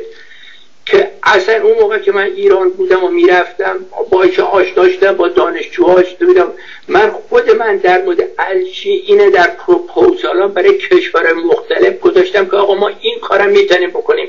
ولی الان سه سال چهار سال اصلا خاموش شده. به علت منافعی نداره. حالا شما آمدین این و در مورد سوابق کاری من. اگر من بخوام در مورد سوابق کاری من چهار ساعتم با شما نمی‌دونم. گفتم آقا برو وبسایت چمپ و نگاه بکن. اگر در مورد تکنیکی سوالی داری اونجا سوال بکن. حالا من آمدم اینجا با شما مناظره بکنم. پنج دقیقه من تمام شد بفرمایید. حالا شما بفرمایید. بسیار ممنونم از شما که امروز به این قشنگی خودتون مجلس رو کنترل می‌کنید. من این صفحه 354 آوردم. که هر وقت شما گفتید بخونم و اجازه بدید تشکر کنم از دوستانی که به شما تماس گرفتن و گفتن شخصی به نام سوربی داره از شما انتقاد می‌کنه. چون معمولا وقتی این دوستان زنگ می‌زنن هر انتقادی رو به طرف میگن آقا طرف داره به شما توهین می‌کنه و خیلی خوشحالم که شما هنوز باور دارید که من از شما انتقاد کردم. من از کتاب شما انتقاد کردم. این روشی که شما میگید شما من سیخ می‌زنم تا طرف تحریک بشه بیاد اینجا. نه این روشی که تو تمام تلویزیون ها هست به غیر از تلویزیون های دولتی که توسط دیکتاتورها به اصطلاح کنترل میشه و اونا نمی‌ذارن کسی به کسی به اصطلاح انتقاد کنه و میگن همش از ما تعریف کن. شما هیچ انتقادی توش نمی‌بینید. و خوشحالم که شما حالا این کلمه سیخ زدن که خب اصلا معنی بدی هم داره و اینها اینو بذارید کنار. ولی همین که ما اینجا صحبت کردیم شما قبول کردید آمدید من همیشه پشت سر شما گفتم بهتون احترام می‌ذارم. از این بابت هم ممنونم. شما یه نموداری رو نشون می‌دید که ما در جمعه دو هفته پیش هم اینو نشون دادیم. روی اصلا اون ویدیوی شما اصلش با این نمودار شروع میشه. ولی من یه سوالی از شما دارم. شما فکر می‌کنید نمودار شما از 20 فرمان یا ده فرمان حضرت موسی به اصطلاح بالاتره؟ آقا ده فرمان حضرت موسی رو مردم رعایت نکردن. ضمن شما درباره این خانم و الجی صحبت کردید. الجی رو تو فارسی چه بگیم؟ بگیم لجند یا بگیم به اصطلاح چیزهای دریایی. این این و شما گفتید که این طرح چون منفعتی نداشته بسته شده و از این بابت ممنونم چون من اتفاقا دنبال همین بودم که آیا این طرح هنوزم هست یا نیست که شما گفتید بسته شده و متاسفانه می‌بینیم. تو آمریکا هم دوستان برید تایپ کنید ماشین های الکتریکی پنجاه سال پیش ساخته شده ولی شرکت های نفتی همین آقازاده های اینجا اینا همه رو خریدن ماشین نو نو رو فرستادن به junkyard من نمی‌دونم چند دقیقه استفاده کردم ولی ممنونم. ساکت میشم شما بفرمایید. از algae همون جلبکه. جلبک. یعنی که در آب ساکن حتی اگر شما داشته باشید نور خورشید باشه و در اونجا اکسیژن بیاد چیز بکنه جلبک تولید اصلا این داستانش به اصلا پیدایش بشریت و انسان و این چیزا برمیگرده. ایران شاید بگم پاینیر بوده توی این کار. الان اسرائیل نامبر وان. اینها نمی‌خوام بگم حالا هنر نزد ایرانیان است و بس. اینها منتها نه منافعش زیاده. دزدی توش نمیشه کرد. متوجه هستین؟ به این دلیل من در اون کامنتی که نوشتم از علی بابا و چهل دزد بغداد اسم که این پروژه به این اگر این پروژه دولت جمهوری اسلامی ادامه می‌داد شاید ما اصلا به صادرات نفت احتیاج نداشتیم در 15 سال گذشته. متوجه ارزم هستی؟ منتها پول توش نیست. یعنی که کسی که می‌خواد این کار انجام بده مثل خاتم الانبیا فرض بفرمایید که بخواد این کار انجام بده سپاه اینها همیشه سوال می‌کنن what is in it for me گیر من چی میاد؟ گیر شما هیچی نمیاد. یک منبع درآمدی برای ایران به وجود میاد. حالا اگر شما نگاه بکنید می‌بینید که مسیر حرکت آب در خلیج فارس آب تمیز میاد توی سواحل ایران و برمیگرده آبهای کثیف از امارات متحده از خلیج فارس بیرون میره. به همین دلیل بود که صدام حسین آمد چاهای نفتی ما رو بمباران بکنه ولی احمق نمی‌دانست. تمام نفت رفت و آب شیرین کنای بحرین رو نمی‌دونم امارات متحده کنه. آقا این کار دیگه نکن.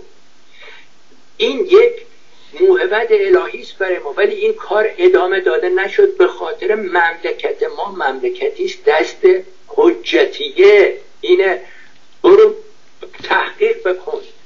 اینها نیامدن برای آبادانی کشور آمدن برای نابودی کشور. یعنی هر چیز خوبه تولید کننده اینها اصلا دنبالش نیستن. اینها فقط فقط فکر این هستن که اگر که اینا رفتن دنبال نیوکلیر به خاطر که پول توش بود. یعنی اینکه صورت حساب می‌دادن 100 میلیارد دلار ولی خرج می‌کردن 400 میلیارد دلار که توش 200 میلیارد دلار بخورن. پس این 800 میلیارد دلاری که در 8 سال احمدی نژاد به تایید خودشان از دست رفته کجاست؟ اینا همین خرجاست که اینها من براتون سیستم اقتصادی ایران قبلا هم گفتم مثل یک حوزیه که نه ده اینچ آب میاد توش نه اینچش از اون زیر میره بیرون دزدیه. و یک اینچش خرج مملکت میشه که این مملکت اینطوری اداره میشه. چون تو کار الجی دزدی نمی شده بنابراین این کار اینا ادامه نداده. به همین دلیل هم صداش در نیامد. منم دیگه تحقیق نکردم نرفتم دنبالش. ولی در پروپوزال های environmental ی خود من که گفتم برید در شرکت چمکو چمکو dot net. یکی از وبسایت یعنی در حقیقت کاری اصلی منه که من تبدیل زباله به برقه. در ضمن وقتی که میرم جایی propose می‌کنم من جمله در مراکش در جمیکا این پیشنهاد کرده بودم که آقا بیاین algae هم بذارید تو این و دانشگاه شیکاگو دوستای جمیکایی ما هستن که در بودم. آقا ما اینم در ایران داریم. مثل خانم شیرزادی که توی کار کامپوست زد و دوستان من در کرمانشاه و داره آشغال تبدیل به کامپوست می‌کنه. یعنی که اگه پس فردا شما یه ویدیو در مورد کامپوست برای من بفرستی من ناچارم به شما بگم آخه من, من این 15 سال این کار کردم. با با عرض معذرت از اینکه تیمسار آریان پور چطور من اشتباه فهمید؟ من در اینجا نیامدم از کارهای خودم از تکنیک و معلومات علمی خودم صحبت بکنم. من اصلا یه مهندس کارگر نمی‌دونم کم سوادی هستم. من تا آمدم اینجا میگم آقا ایران هیچ راهی نداره مگر این قانون اساسیش عوض بکنیم. و این قانون اساسی نمی‌توانه عوض بشه تا اینکه این چهار تا رکن هویت ایرانی در ایران دوباره زنده نشه. تمام. ممنونم از شما. اولا شما گفتید که ایران در این صنعت پیشرو بوده. حالا اسرائیل پیشرو است. همینجا من یک خبر کوچولو به دوستان بدم که می‌دونید اسرائیل در ساختن دیوار مهارت داره. دیوار بین فلسطین و اسرائیل بعد گنبد آهنی. حالا یه شرکت اسرائیلی قبول کرده دیوار بین آمریکا و مکزیک رو بذاره. امروز دیدم و شنیدم که جوک میگن میگن بیخود نبوده که ترامپ گفته باید پول این دیوار رو مکزیک بده و درست گفته. دلیلش اینه که به زودی آمریکایی ها از آمریکا می‌خوان فرار کنن برن مکزیک و پولش رو باید مکزیک بده. و شما اون پاسخ علی بابا و چهل دوز رو که جزو نوشته های آقای آریان پور بود به طور کامل ندادید. لطف کنید یه یادداشت بنویسید. بعد از اینکه من صحبت رو تموم کردم شما در این مورد توضیح بیشتری بدید. ضمن شما گفتید در این صنعت الجی دزدی نیست. شما از کجا می‌دونید؟ اگر میذاشتید این آخوندات توی اون صنعت هم راه دزدیشو پیدا می‌کردن. همونجوری که هممون می‌دونیم میگن از شیطون پرسیدن که شما دو روز میای انگلستان دو روز میای آمریکا چهار روز دیگه سه روز دیگهش کجا هستی؟ گفت من سه روز دیگهش میرم قوم تا یاد بگیرم روش های شیطنت جدید رو. ولی برگردیم به موضوع و حرف اصلی شما که این قانون اصلی رو اساسی رو که شما میگید عوض کنیم چگونه باید عوض کنیم؟ از کجا؟ شما دیدید مثلا این آقای دکتر نصر احمدی آمده بعد از اینکه فهمیده اشتباه کرده رفته سالها از عمرشو با آقای رضا پهلوی بوده حالا می‌خواد بیاد به طرف مردم. ولی با یک قوره سردیش میشه با یک مویز گرمیش میشه. چگونه یا به وسیله چه کسی می‌خواین این قانون اساسی رو ببرید؟ تازه بدون اینکه شما دست به ترکیب حکومت آخوندا بذارید. بفرم از کنم من اول جواب تیمسار آریانپور از من سوالی نکردن. در تیمسار آریانپور فقط بعد از اینکه سوء تفاهم شده بود سوال فرموده بودن که من یکی از سوابق کاری خودمه. بگم که من چه کارهایی کردم که من گفتم من خیلی چه برایشان لیست کردم شده ایمیل فرستادم که لازم هم نیست خوانده بشه. ولی اگر در مورد کار من و سوابق من می‌خواید تحقیق بکنید توی وبسایت هایی که من دارم منظور همین چمکو دات نت که توی چمنارا دات نت هم اونجا نوشته شده. پروژه هایی که من اجرا کردم اینا همش اونجا هست. بنابراین احتیاجی نیست وقت ما بگیریم. چون همونطور که عرض کردم علت اینی که من میام اینجا صحبت می‌کنم اون هدفی است که همیشه داشتم. این همین. این هدفم از ده سال 15 سال پیش کرد و اینم به شما دارم آقای سربی اینم به شما میگم. این جمهوری اسلامی وزارت اطلاعاتش اینا همه خبردار هستن که اینها رو هیچی سرنگون نمی‌کنه. آمریکا با یک میلیون سرباز نمی‌تونه اینا رو ببین اسرائیل همش اینا به قول آمریکای ردریکه یعنی ازن حرف مفت زدنه اینی که ما بخوایم حمله بکنیم همه چیز رو تیبل هست و نمی‌دونم اصلا آقا چرا این کاره بکنه؟ مگه من به شما توضیح ندادم؟ آمدم اونجا گفتم آقا این وضعیت فعلی ایران ایدئال آمریکاست. این طرح کیسینجر از طرح کیسینجر هم نه طرح سر الک داگلاس یو بود. ما باید یک ایران استیبل و یک عربستان قوی داشته باشیم که این دوتا رو بندازیم. جان هم و هرچی ثروت این منطقه هست از بابت اسلحه و نیممی دعوا اینا شد. کیسنجر هم آمد. دکترین کیسنجر این. یعنی اینکه ما باید ایران استیبل باشه. بهش حمله نکنیم. بهش میگیم تو فش بشه بفرست آسمان روز بوده. چرا من یه دفعه گفتم فش بشه؟ چون از اینها این موشکای ایران فش بشن. اینها از اون بالاش ما بند کفش عوض بکنی اینا می‌بینن. آخه چطوری ممکنه این تهدیدی باشه برای اسرائیل یا این؟ همچین نیست. اینها می‌خوان این موشک بفرسته آسمان به اینا بگن به ضد موشک بخرم دیگه الان 300 میلیارد بهشون فروختن 700 میلیارد دیگه تو 5 سال آینده خواهند فروخت به تهدید ایران. این این وضعیت دیگه. بنابراین ما روی بحث این حمله به ایران رو نمی‌دونم طرحهای دیگه. تنها رایی که این حاج میشه قانون اساسیه و همین دلیلم هست. حالا نمی‌خوام بگم این در نتیجه کار منه ولی به هر حال حرفایی که اینجا می‌زنیم من و شما درست پنج نفرم نمیبیننش. ولی در ایران به هر حال میرن اونجا با هم اینها اتاق فکر دارن اندیشکده دارن صحبت می‌کنن. حرفی که الان من شما می‌زنیم اینها آنالیز می‌کنن برای خودشان اینا زیرکتر از اون چیزی هستن که شما فکر می‌کنید آخوندا خیلی اینها فکرشان آینده رو به همین دلیلم هست. از چهار سال پیش آقای لاریجانی در مجلس میگه ما باید قانون اساسی تغییرات آقای ویدیوش برای شما فرستادم. آقا چرا نگاه نمی‌کنید؟ آقای روحانی میاد زیر بنر قانون اساسی سخنرانی از شوراها و قانون اساسی می‌کنه. از اون طرف آقای خاتمی قدرتمندترین آخوند پرزو که اصلا مثل رستم این آخونداست قوی هیکل نمام جمعه میاد یه سخنرانی کرد که من این ویدیو بسوده ویدیو کردم هم برای شما فرستادم هم توی فیسبوکتان گذاشتمش برای گوش, گوش بده ایناره گذاشته.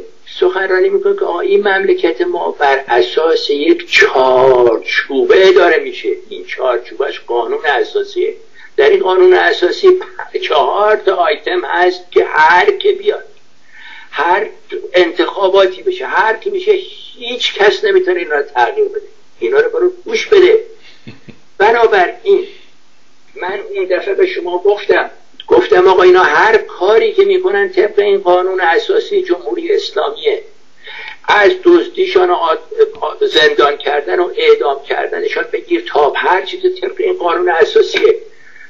تمام این اپوزیسیونی که میشینن سر هم می‌زنن 28 مردادی بود که و بوم بود نمی‌دونم شکت نردینه همش سرگرمیه. اینا برن می‌خوان کار می‌کنن ما باید به فکر تغییر قانون اساسی بود. به این دلیل ما آمدیم.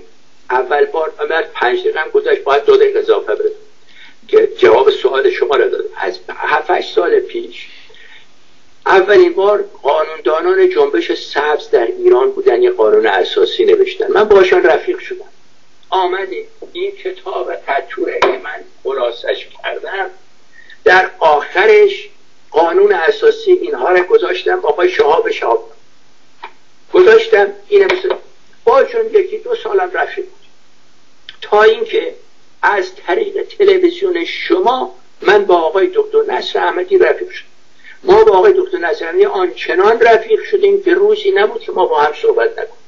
صحبت می‌کردیم. در مورد قانون اساسی حتی من از ایشان چند تا ایراد کرد نه ایراد گفت آقا این گواره بله سن ازدواج ما بهتره اینطوری بکنیم اینطوری.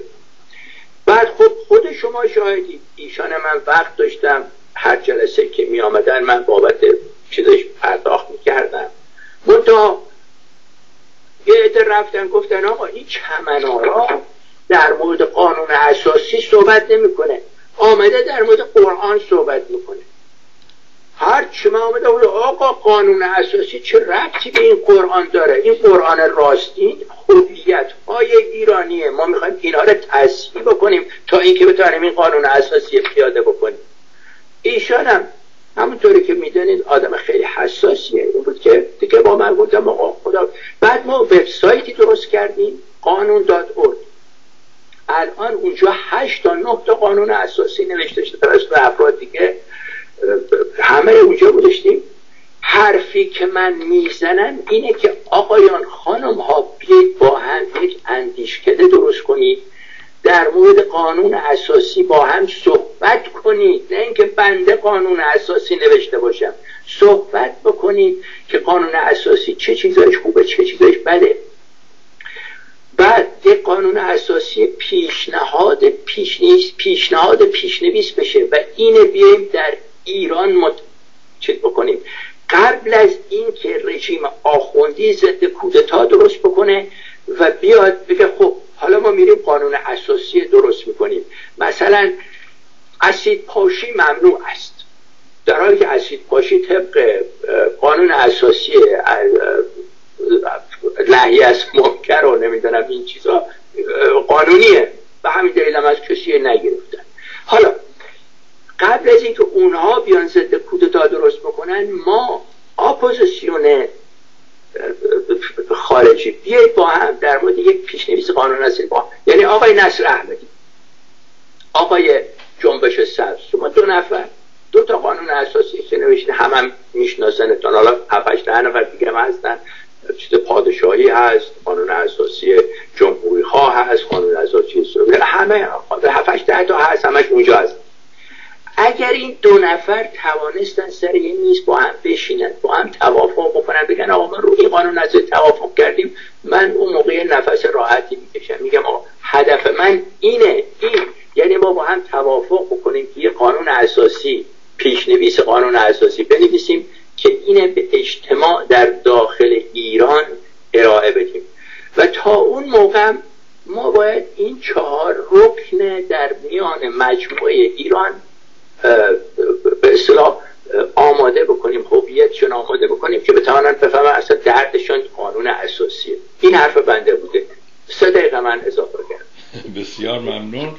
من فقط می‌خواستم دوستان خودشون شاهد باشن که اگه اینجا تایم رو نگه نداریم ماشاءالله شماها همه سخنور هستید و دلهاتون پر از گفته های ناگفته است و می‌خواین بگید. هیچ مشکلی نیست. شما کم لطفی کردید گفتید تلویزیون مردم پنج نفر بیننده هم نداره. ولی خودتون اقرار کردین که از طریق همین تلویزیون با دکتر نصر احمدی آشنا شدید و از طریق همین تلویزیون زیر سوالات افراد فرهیخته ای همچون آقای آریان پور میرید.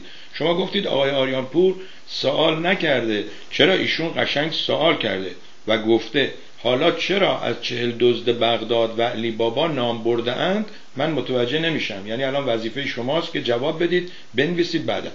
ضمنا ایشون میگن که استدعا می‌کنن در هنگام مصاحبه آقای چمنارا به نام به نام من از ایشان سوال کنید در طول زندگی خود. یکی از کارهای ابتکاری فنی را که از الف تا ی آن را خودشان ایجاد کردن جهت اطلاع که شما گفتید هم توی قانون dot هم توی چمنارا dot net هست. من آدرس چمنارا dot net رو هم دوستان اینجا نوشتم. خیلی ساده. نه نه نه صبر کنید. صبر کنید آقای چمنارا.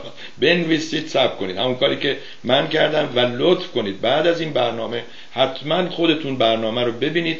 این بار یک تاکومت یا یک استاپ واچ داشته باشید و ببینید که ما اگر بخوایم سیویلایزد مناظره کنیم اولین کاری که می‌خوایم بکنیم باید به خودمون احترام بذاریم وقت رو رعایت کنیم.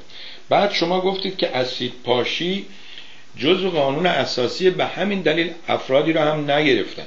شما کاملا اشتباه می‌کنید. افرادی رو گرفتند. حالا اگر قرار بوده چشم ها کور کنند و اسید بریزن مردم رفتن یا دیه گرفتن یا طرف انسان بوده بخشیده و کور نکردن اون به جای خودش باقی میمونه. و اما ماجرای این که اینها داد و بیداد می‌کنن یک کاریکاتور خیلی قشنگ هست که نشون میده آمریکا و انگلستان دارن نقشه ایران رو که آخوندی شده باد می‌کنن و جلو, آخوند، جلو عربستان سعودی به نمایش می‌ذارن اونا رو میترسونن و دارن ازشون پول می‌گیرن و اسلحه میفروشن. این من هم باور دارم که این کارشونه. ضمنا به نظر میاد آمریکا تو شرایطی نیست که به ایران یا کره شمالی حمله کنه. و بعضیا باور دارن که احمدی نژادی اگر نبود بوش به ایران هم حمله می‌کرد و بعضی وقتا به قول معروف باید جواب سنگ سنگ شکن یا میگن سنگ سنگ شکن می‌خواد تو اینها این باش من ساکت میشم شما بفرمایید و دوستان عزیز همین جوری که امروز داریم ما صحبت می‌کنیم شماها هم می‌تونید از تلویزیون مردم استفاده کنید به چند طریق. یکی مهمان من باشید که این رو هم لطف کنید آقای چمنارا بنویسید که هر وقت شما مهمان من بودید آیا من ازتون پولی خواستم برای مهمان بودن؟ ولی اگر برنامه بوده خود شما لطف کردید. حمایت کردید برای دوستان بنویسید که من چند بار از حمایت شما تشکر کردم. دلیلش اینه که آقای به گفته این آقای شنشن یا هر کی که بوده میگه افرادی. حالا اسم نمی‌برم. دیروز یک جای مهمونی بوده احتمالا ختنه سرونی بوده چون اینا باید ختنه بشن دوباره برگردن ایران با آخوندا کار کنن. و گفتن که سوربی نامه می که 50 دلار بده بیا مهمان من باشه. من کسی رو که حرفاش ارزش داشته باشه دعوت می‌کنم. کسی رو که ارزش مهمان بودن داشته باشه دعوت می‌کنم به منزل خودم ولی مهمان یک بار دو بار سه بار. اگر کسی خواست همیشه مفتخوری کنه خیلی قشنگ معدبانه چون حقمه بهش میگم اینجا مفتخوری دیگه تموم شده. اصلا ما تو فرهنگمون داریم. حرف مفت بس است ماجرای تلگراف و اینها. در صورت بازم ممنونم از شما آقای چمنارا. من ساکت میشم شما بفرمایید. در مورد سوال تیمسار ارجمند جناب آریان پور ارز کنم ایشان در ایمیل خودشون سوال کردن که آیا کارهایی که تو کردی بگو آقا من بخوام لیست چه 50 سال سابقه مهندسی خودم بگم خب باید دو ساعت بشه نمیشه. ولی برایش خلاصه نوشتم اون کاری که من کردم همه هست. می توانید توی شرکت چمکو من نگاه بکنید. در ضمن الان دو تا کارخانه در هندوستان دارم. تو کارخانه توی لک لک می‌کنه یعنی حتی در حقوقش هم در نمیاره. و این در اینجا یک تکنولوژی من دارم گسیفیکیشنه که ما از آشغال synthetic gas یا syngas تولید می‌کنیم و تکنولوژی این gasification نه اینکه متعلق با من باشه ولی یه سیستمی درست کردن که بسیار efficient این مال خود منه و بعد من یک تر دوباره یک know-how یی دارم در مورد این که می‌توانم engine های که با natural gas کار می‌کنن اینو modify بکنن که با synthetic gas کار بکنن. این کار حتی کاترپیلار و جنرال الکتریک هم نمی‌توانستن بکنن. ولی جنرال الکتریک تازگی یا دو سالی از شروع کرده اونم تا یک مگاوات در حالی که من تا پنج مگاوات می‌تونم انجین های عوض بکنم. این از کاری که الان در دست دارم این کار می‌کنم. شما در اصفهان اگر برید در خانه اصفهان کنارش یک شهرکی هست به نام کوچان. اونجا من یک کارخانه درست کردم برای نوار پیچ گوره های گاز این از کارهای ابتکاری منه در وقتی که ایران کار می‌کردم. درست قبل از اینکه بیام که شبانه آمدن هر چه داشتم داشتم دزدیدن و بردن. و بعد من در کار می‌کردم. یک تکنولوژی به نام rotary valve حالا یه در مورد LAB برای شما صحبت بکنم که من توی UOP وقتی که آمدم آمریکا سمتم senior design engineer بوده. اینا لازم نیست من بگم. من آمده میشه در مورد قانون اساسی صحبت کنم. حالا بیام در مورد تکنیک صحبت بکنم. بعد من این یک پروژه بسیار بزرگ در ایران پروژه LAB بود که مواد اولیه برای صابون درست می‌کنن. رئیس این پروژه آمد و من گفت آقای را من 8 میلیون دلار تو چمدان می‌ذارم. اگر شما بتونید این روتوری بلب به من بدید. من کاری که کردم آمدم. اون تکنولوژی که اینجا بود بردم با یک شرکت بلب سازی چین درست کردم و در اونجا اینه درست کردم و به اینا تحویل دادم و باورتان میشه آخرش هم زد زیر قولش. گفتم آقا تو من گفتی 8 میلیون دلار به من بدی پس چی شد؟ گفت نه آقا این چون چینیه من بیشتر از 4 میلیون دلار نمی‌تونم. بدم خدا پدرش هم بیامرزه. بازم تو 4 میلیون دیگه ما ولی اگر بیه آخوندی بود میگم آقا نخیر آقا شما 100 میلیون دلار ما به شما میدیم. منتها شما از این 100 میلیون دلار 50 میلیون دلارش به ما بده. این این سیستم علی بابا و چه دوزه برخورده. جناب تیمسار آریان بود علتی که گفتم الجی این چل دوز بردانمه به خاطر که سیستم این نیست که بگن آقا برو این الجی درست بکن. نه درآمد یعنی اینها نمی‌توانستن توش دزدی بکنن. به هر حال حالا این داستان این بود. بعد سوال بعدتان چی بود؟ همون ماجرای چرا مثال اولی بابا خب گفتید الان دیگه توضیح دادید. یه اجازه بدید من از پتیک تشکر کنم برای شما ایمیلش فرستادم. ایشون گفته اگر در مناظره جدید آقای چمنارا وقت اضافه ماند بپرسید. همورابی را اگر ممکن است با کوروش مقایسه کنید. و توی پرانتز نوشتن دیگران را هم آدم حساب کنین نه جواب بدم. آقا من مخلص شما هستم کوچیک شما هستم. این حرف را در مورد من نزنید. من اصلا مرام مرام درویشی من توی خانواده درویش این حرفا چیه؟ ما دیگران به حساب بیاریم. من مخلص شما هستم مخلص آج سوربی هم هستم. حالا بگم صفحه 127 این یارو کتاب است که منتها قطورش که آقای هربی هم من مسخره کرد. گفت اینه 6 تا جلد براتون این سری می‌خوام. معلوم نیست که اسطوره قبل از دین به وجود آمده یا که دین درست شده و بعد اسطوره به آن بافته. سوال بعد این است که اسطوره ها چه نقشی در حکومت های اولی داشتن؟ حالا به هر حال اولین بنیانگذاران تمدن در خاورمیانه در حقیقت اولین مردمانی بودند که جدایی دین از دولت را به اجرا درآوردند. در حالی که زیگورات های عظیم از بابل گرفته تا خوزستان و سیستان محل عبادت بوده. ولی آنها اولین قوانین اجتماعی را بر روی سنگ نوشتند و این لوحه سنگی متعلق به چهار هزار سال پیش در شهر باستانی شوش مرکز تمدن ایلامیان در استان و خوزستان در سال 1901 میلادی کش شده و اکنون در موزه لوور پاریس نگهداری می شود این لوحه که با آن قوانین همورابی می‌گوید شامل 282 ماده قانون اجتماعی باشد و هیچ گونه ربطی به دین ندارد. زمان تدوین و اجرای آن 1500 سال قبل از نگارش تورات توسط ازرا بوده است. یعنی من اینه نوشتم. منتها اینه به آقای سوربی ندادم. می‌دونی چرا؟ بخاطر که آقای سوربی میامد می‌گفت که معلوم نیست این اسطوره قبل از دین به وجود آمده یا که دیگه. آقا اینم جواب آقای کمنارا بود بعد تا آخر این اصلا سیستم سوربیه من آقای آقای چمنارا من از شما کامنتی که من در فیسبوک آقای سوربی گذاشتم چهار خط ده بیس خطه. ده خطه. میگم بعد براش کامنت خودم ایمیل می‌کنم. ایشان سه خط اولش می‌خونه آخرش نمی‌خونه. که اصلا جواب من میمونه. بعد میگه آدم به حساب نمید بعد من جواب کامل به ایشان میگم آقا تو برو صفحه صفحه یک شاهنامه من بخوان بابا صدر احمد بعد در مورد رستم فرخزاد میگم میگم برو صفحه 35 بالای صفحه یه خط می‌خونه که فرخزاد شاه ایران بوده. بعد چهار خط پایین تر نمیاد که بابا بعد از فرخزاد یزدگرد میاد. وقتی که یزدگرد میاد بعدش جنگ شروع میشه. فرخ...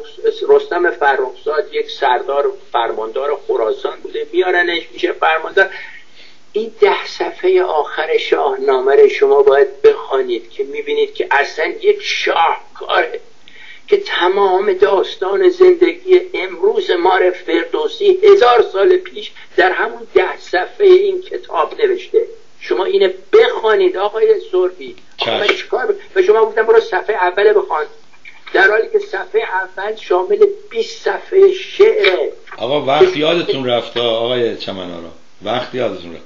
ببینید شما به من میگید صفحه اول رو بخون. خودتون همین الان میگین صفحه اول شامل 20 صفحه است. میگید صفحه 35 رو بخون. میگید اون بالاش نوشته فرخزاد. من تا خوندم نوشت یک ماه بعد مسموم شد مرده. خب دیگه من چی بخونم؟ شاید اشکال از نوشتن شماست. ضمن شما میگید که آخر شاهنامه رو بخونیم. تازگی ها فهمیدن. ما به اشتباه می‌گفتیم. آخر شاهنامه خوشه. دلیلش اینه که آخر شاهنامه از پیروزی به اصطلاح غریبه ها بر ایران صحبت می‌کنه. ضمنا باز درباره اون ماجرایی که اون طرحی که شما می‌خواستید بفروشید بهتون قول 8 میلیون دادن بعدا 4 میلیون مثالی که شما زدید یه مقداری اشتباه بود چون اگه اینجوری باشه باز نشون میده که آخوندا با وجودی که 50 میلیون میدزدن ولی به طرف مقابل هم 50 میلیون میدن. باید کمی با دقتتر. ضمن اینم لاداش کنید کلمه سنت در این کار دخالت نداشت بعدش همین بود. اوکی اجازه بدید. کلمه سنتتیک رو تو فارسی چی باید بگیم؟ و مصنوعی بهش سنتتیک میگه مصنوعی میگه الیاف سنتتیک یعنی الیاف مصنوعی. مصنوعی بله. و یک گازی است با بله. کالری کمتر. آقای چمنارا اون نوار پیچ لوله های گاز رو من دیدم که یه چیز بزرگی تو کانادا و اینها دور این چیزا میچرخه و اون اختراع شما بوده نه؟ اختراع نبوده آج. خب من دارم می‌پرسم بگید نه. من بعدا ما من آخرین کارم در ایران لوله کشی گاز بوده. یعنی اگر جا که من وقتی در یو استخدام شدم بعدا وقتی با vice president شرکت شدم گفت آقا من رزومه‌ت وقتی که دیدم خندم گرفت. این مهندس برق بوده با این تحصیلات تو دانشگاه لندن و کارهایی که کرده بودم. یه دفعه هم پل ساخته هم ساختمان ساخته هم لوله کشی گاز کرده هم تو substation بود اینا. این من لوله کشی گاز می‌کردم در اصفهان. بعد ما باید لوله ها رو از اصفهان بر می داشتیم می در تهران. یک شرکتی بود تو میدان آزادی هم بود. اگر اینایی که چل سال پیش سی سال پیش یادشان باشه اونجا لوله ها رو نوار پیچ قیر قیر داغ ریختن روش منتها قیر سنگی که تا 250 درجه. بعد این لوله ها رو می بردیم اونجا. باید برش میگرداندیم اصفهان. من رفتم. این کارخانه رو نگاه کردم بعد دیدم که آقا سیستم آمدم با چهار تا پنج تا از هنرمندای اصفهانی که مثلا با ماشین کار یکی خواستم که اصلا شد دیگه اون کارخانه من نمونه شد در تمام ایران ساخته شد من تو اصفهان اینه به راه انداختم. یکی از کارهای من اینه روتوری بلب هست در من اصلا نمی‌خوام در مورد کار فنیم صحبت بکنم. نه شما اینو درست گفتید. آقای آقای چمنارا شما اینو کاملا درست گفتید که وقتی دارید راجع به قانون اساسی صحبت می‌کنید اصلا قرار نیست راجع به کارهای تکنیکی و علمی که در این رشته دارید چون من باور دارم و دیدم که یه نفر مثلا مهندس برقه ولی میارن به عنوان منیجر یک قسمت دیگه می‌ذارن اینجا اون از قسمت های دانش الکترونیک و الکتروتکنیکش حساب نمی‌کنه.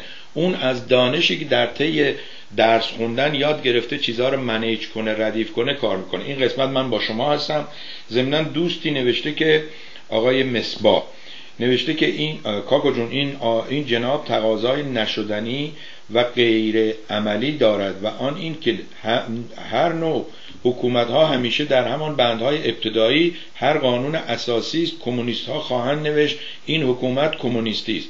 پادشاهی میگه نظام ما پادشاهی است. سوسیالیست ها لیبرال ها و غیره در نتیجه در صورتی که همه گروه ها هم جمع شوند در همان بند اول تفرقه ایجاد خواهد شد. جوابتون به این دوست ما چیه؟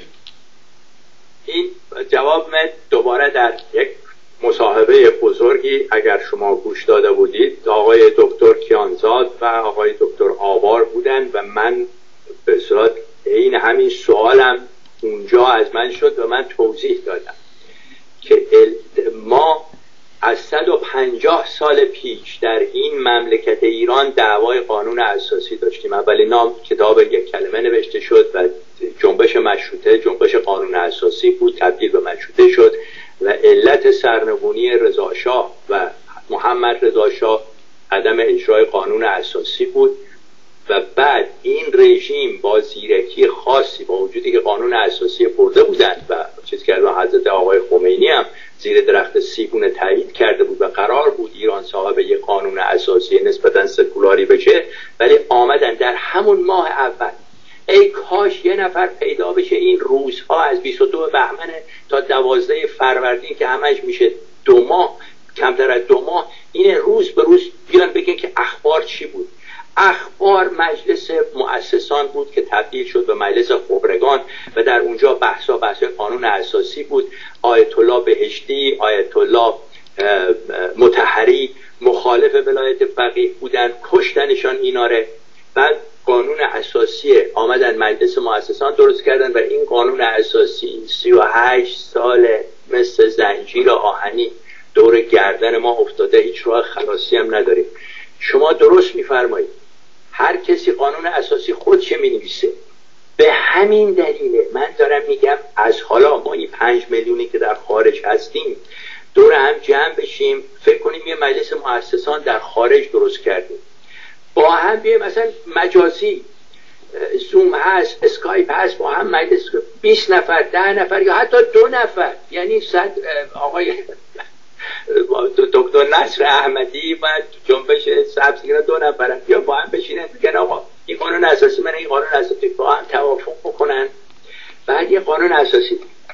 در کتاب 2020 من همین فرمایش شما رو متعی کتاب انگلیسیه. دیگه نمی‌تونم به آقای سربی بگم برو صفحه فلانه بخون. اون دو چپتر آخرش یک حالت ایدئالی ایجاد کردم که مردم الان در ایران تا سال 2020 کارت به استخوانشان می‌رسه انقلاب می‌کنن. شورش می‌کنن نافرمانی مدنی می‌کنن فلان می‌کنن. بعد این رژیم که البته امیدوار بودیم که قانون اساسی نوشته بشه در توسط آمریکا و اروپا اسمارت سانکشن روی اینا گذاشته میشه و توافق می‌کنن که بیان قانون اساسی عوض بکنن. البته بالا این باید وقتی قانون اساسی عوض کردن همین قانون اساسی که ما الان سه چهار پنج ساله داریم در موردش حرف می‌زنیم اون میشه پیشنویسی که اینا میرن در مجلس مؤسسان خودشان سریع تصویب بکنن و امیدوار هستیم در سال 2020 ایران صاحب یک قانون اساسی بشه. جواب این دوست گرامی که سوال کردن پنج بسیار ممنونم از شما. اجازه بدید این اسمارت سانکشن رو برای دوستان بگم که آقای چمنارا قبلا هم در برنامه های مختلف خودشون توضیح دادن که منظورشون تحریم های هوشمنده که اگه این دولت های اروپا و آمریکا واقعا صادقانه می‌خواستن این کار انجام بدن تحریم ها باید بر, بر علیه آقازاده ها و آخونده باشه نه بر علیه مردم. و اون به اصطلاح کار می‌کرد. برنامه های ایشون رو ببینید ویدیوهای ایشون رو ببینید. من از شما می‌خوام یه خواهش کنم. به جای وقت من شما لطف کنید. با صدای خودتون این صفحه 354 و 355 رو بخونید و این حسن ختام برنامه امروز باشه. دوستان عزیز کتاب مقدس ایرانیان شاهنامه فردوسی که من باور دارم هیچ چیزی مقدس نیست پس این کتابم نباید اسم مقدس رو روش میذاشتن. آقای سهراب چمنارا یکی از کارهای جالبی که ایشون کرده چون ایشون نیازمند به پول نیست برعکس تمام اونهای دیگه که مغازه های دو دهنه باز کردن و سوپرمارکت و به هر جوری می‌خوان شما رو سرکیسه کنن ایشون تمام این کتاب ها رو روی وبسایت خودشون چمنارا دات نت گذاشتن. می‌تونید مجانا بخونید. ضمن کتاب 2020 رو من خوندم و با یکی از دوستانم هم که قاضی هست اون هم خونده و اتفاقا قرار یک به اصطلاح نقد کوچولویی دربارش ایشون بنویسه و این را هدیه کنم به آقای چمنارا. آقای چمنارا چند تا چیز رو با اطمینان کامل تو این یکی دو روز گفتن که من ازشون خواهش می‌کنم. یک کمی از قدر مطلق و مطمئن بودن کم کنن و بتونیم با هم مهربونتر و دوستانه صحبت کنیم. بازم از ایشون ممنونم که با مهمان ما بودن. پس با هم میریم سراغ این کتاب شاهنامه فردوسی کتاب مقدس ایرانیان به کوشش سهراب چمنارا صفحه 354 و 355 رو که ایشون به من پیشنهاد کرده بودن بخونم و من خوندم. ایشون فکر می‌کنه من زرنگی کردم. این کارو انجام دادم ولی نه. من خوندم سکت اولش نوشته چون یک ماه پس از پادشاهی او گذشت بنده ای در, در می او زهر ریخت و او خورد. اولا وقتی میگین بنده یعنی اون موقع ماجرای بنده, بنده و برده و اینها بوده. این یک. دو من منم به شوخی گفتم خب شاه مرد قصه خلاص. دوستان عزیز من ساکت میشم و آقای چمنارا این دو صفحه رو برای ما می‌خونن به عنوان حسن ختام مصاحبه با ایشون. بفرمایید. بله. بعد وقتی که فرخزاد شاه کشته میشه بعد اون میگن در ابتدای روز 25 اسفند که یزدگرد به تخت نشست گفت زمان طوری است که کسی نمی‌تواند درباره آن داوری کند. همه را بزرگ خواهم شمرد و آزار به بزرگان نخواهد رسید. بر این گونه تا, تا سال شد بر این گونه تا سال شد بر او دو هشت همی ماه و خورشید بر سر برگذشت. اینجا داستان حمله اعراب شروع میشه. عمر سعد وقاص رو البته اینا همه شعر این چی که الان من بخونه در ده صفحه برای شما بخونم صد صفحه شعره. منتها من خلاصش کردم.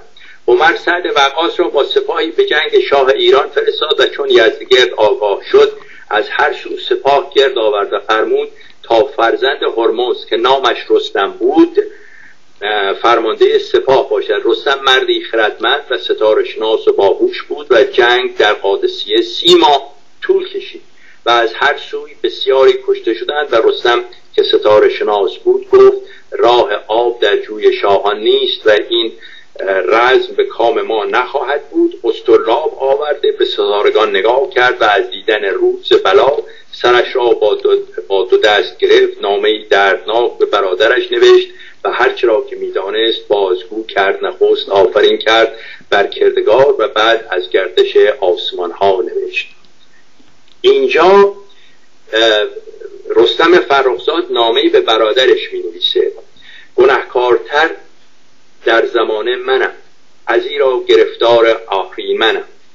که این خانه از پادشاهی توهی است نه نه هنگام پیروزی و فرهی است. خورشید به زمین نگاه می کند آنچنان که از این جنگ به ما بدی خواهد رسید. از بهرام و زهره به ما گزن می‌رسد کیوان و تیر در یک خط و عطارد به برج دو پیکر شده است. کار بزرگی در پیش داریم به طوری که دل از جان سیر خواهد شد. همه چیز را می‌بینم ولی خاموشی را خواهم گزید. بر ایرانیان زار و گریان شدم ز ساسانیان نیز بریان شدم. دریق از این عظمت و تاج و تخت و داد دریق از این بزرگی و شکوه و بخت از این پس شکست از تازیان خواهد بود و چهارصد سال طول خواهد کشید تا نشانی از این نسل پیدا شود. به فرستاده آنها زمین های قادسیه تا لب رودخانه را بخشیدم و با باج و صاف بزرگانی که با من هستند از افغانستان و مازندرانی ها و ارمنی ها و سوری ها می‌پرسند که اینها کی هستند و با ایران و مازندران چه کار دارند. ما کوشش خود را خواهیم کرد ولی کسی را راز سپهر گردان نمی‌داند. چون این نامه را خواندی همه را جمع کن و به آذرآبادگان ببر. به طرف گنجور و آذرگجسب از زابلستان و ایران سپاه را جمع کن و منتظر گردش چرخ سپه باش. هرچه گفتم به مادر بگو که می‌دانم دیگر او را نخواهم دید. می‌دانم که شهریار را شهریار را هم نخواهم دید. او تنها یادگار ساسانیان است. او را نگهداری کن. چون اینجا رو گوش بدیم. چو با ته منبر برابر کنند همه نام بوبکر رو عمر کنند چو روز اندر آید به روز دراز شود تا شود ناسزا شاه گردن فراز. شود ناسزا شاه گردن فراز. گروهی از ایشان سیاه می پوشند و از پارچه دیبا کلاه سرشان می‌گذارند و آینده را چنین خواهد بود. گرامی شود کژی و کاستی. کشاورز جنگی شود بی هنر نژاد و هنر کمتر آید ببر. رباید همین این از آن آن از این. نهان بدتر از آشکارا شود بدندیش گردد پدر بر پسر. ببینید اصلا این سمفونیه. شود بنده بی پنج دقیقه مانده. شود بنده بی هنر شهریار. نژاد و بزرگی نیاید به کار. اینا همش داستان امروزه ولی اون داره میگه که اینطوری میشه. بگیتی کسی را نماند وفا روان و زبانها شود جفا از ایران و ترک و تازیان نژادی پدید آیدن در میان. اینجا ببین که خود فردوسی میگه بعد از این اصلا نژادی از ایرانی نیست. اینی که چیزایی که ناسیونالیستی میگن فردوسی هم گفته گفته بعد از این ما میشیم ترک و تازی و ایرانی و عرب و همه قاطی میشه. بعد میگه همه گنج ها زیر دامن نهند بمیرند و کوشش به دشمن دهند. ببین این یک شعرش عجب که همه گنج ها زیر دامن نهند بمیرند و کوشش به دشمن دهند. این تمام داستانشه آقا آقای احمدی نژاد که 20 میلیارد دلار برداشتی بردی ونزوئلا اینه می‌خوای کجا ببری بربست پدرت شد و یه میلیارد دلار بعدش میچی میشه؟ ونزوئلا انقلاب میشه همه پولت هم میره مثل بقیه پولایی که همه دزدیدن و بردن اون میلیاردها کجا رفته؟ این 800 میلیارد دلاری که از ایران دزدیدن کجا رفته؟ کجا میره در آینده؟ همه دست ایران رفته. همه گنج ها زیر دامن نهند. بمیرند و کوشش به دشمن دهند. نه جشن و نه رامش نه کوشش نه کام. پدر با پسر کین سیم آورد. نه مذر زبان کسان از پی سود خیش بجویند و دین اندر آرند پیش. نباشد بهار و زمستان پدید. نیارند هنگام رامش نبید چو بسیار از این داستان بگذرد کسی سوی آزادگی ننگرد. ببین درست همین سوالی که این دوستمان کردن همینه. فردوسی میگه چو بسیار از این داستان بگذرد کسی سوی آزادی ننگرد. یعنی همه میگن آقا ولش کن دیگه. ای گذشته این آقا تا سوار شدن کارش هم نمیشه کرد. نه آقا برو دنبال قانون اساسی. به قول میدم میشه. بریزند خون از پی خواسته شود روزگار مهان کاسته. دل من پرخون و رویم زرد است چون تا من سپهدار ایران شدم این چنین بخت ساسانیان تیره شد. این قادسیه گورستان من است. جوشنم کفن و خون کلاه خود من است. نامه را مهر کرد تا نزد برادر ببرند همچنین فرستاده ای نزد سعد وقاص فرستاد با نوشته ای بر حریر سفید. نامه را با نام یزدان آغاز کرد که بر پای جهان از اوست و پرسید به من بازگوی آن که شاه تو کیست؟ چه مردی و آین و راه تو چیست؟ یعنی ازش سوال که آقا به من بگو تو دین چیه؟ چون وقتی که اینها فرستاده بله گرد فرستاده بودن از این شما که یه آدمایی هستید که میگن مارا سوسمار خود بچه دوازده ساله بود. اونا گفتن نه نه ما با یک دین جدید آمدیم اینطوری نیست دیگه. بعد در مورد خدا و الله اینا یزدگی تو بچه دوازده گفت آقا ما که یزدان داریم این چیزی که شما میگین ما همش اونا دین زردوش آین زردشتی داشتن و اهورامزدا معتقد بودن به خدا و همین رو داشتن. و همین در زردشتی از نظر اسلامی دین شناخته شده رسمیه. کسی را که سخنگو و داناست نزد ما بفرست تا به ما بگوید اندیشه و هدف تو چیست؟ و چگونه می‌خواهی پادشاهی بکنی؟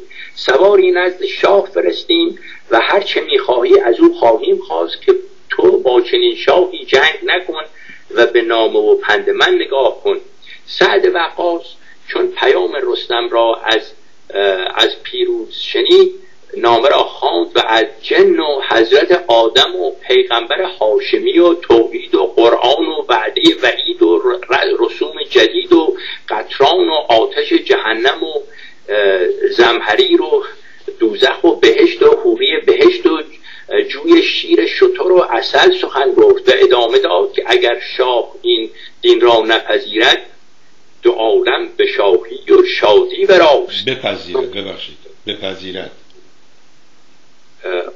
اگر شاه این دین را بپذیرد آها اگر بپذیرد دو عالم به شاهی و آقای چمنارا اجازه بدید که ما همینجا برنامه امروز رو به بله. شما به خاتمه به اصطلاح تموم کنیم ولی باز امیدوار باشیم در برنامه های آینده با ما باشید. و فقط یه سوال کوچیک دوت کنید خیلی خلاصه جواب بدید. اونجایی که ایشون میگه تازی شکست می‌خورن و تا 400 سال دیگه بر نمیگردن این چه زمانی بوده؟ همون وقتی جنگ قادسیه میگه که ما شکست می‌خوریم و یک نسلی از ایرانی درست میشه که نسلی مخلوطی از ایرانی و عرب و ترک. و البته ترکی که می‌گفته نه این ترک های ترکیه ها ترک های مغول.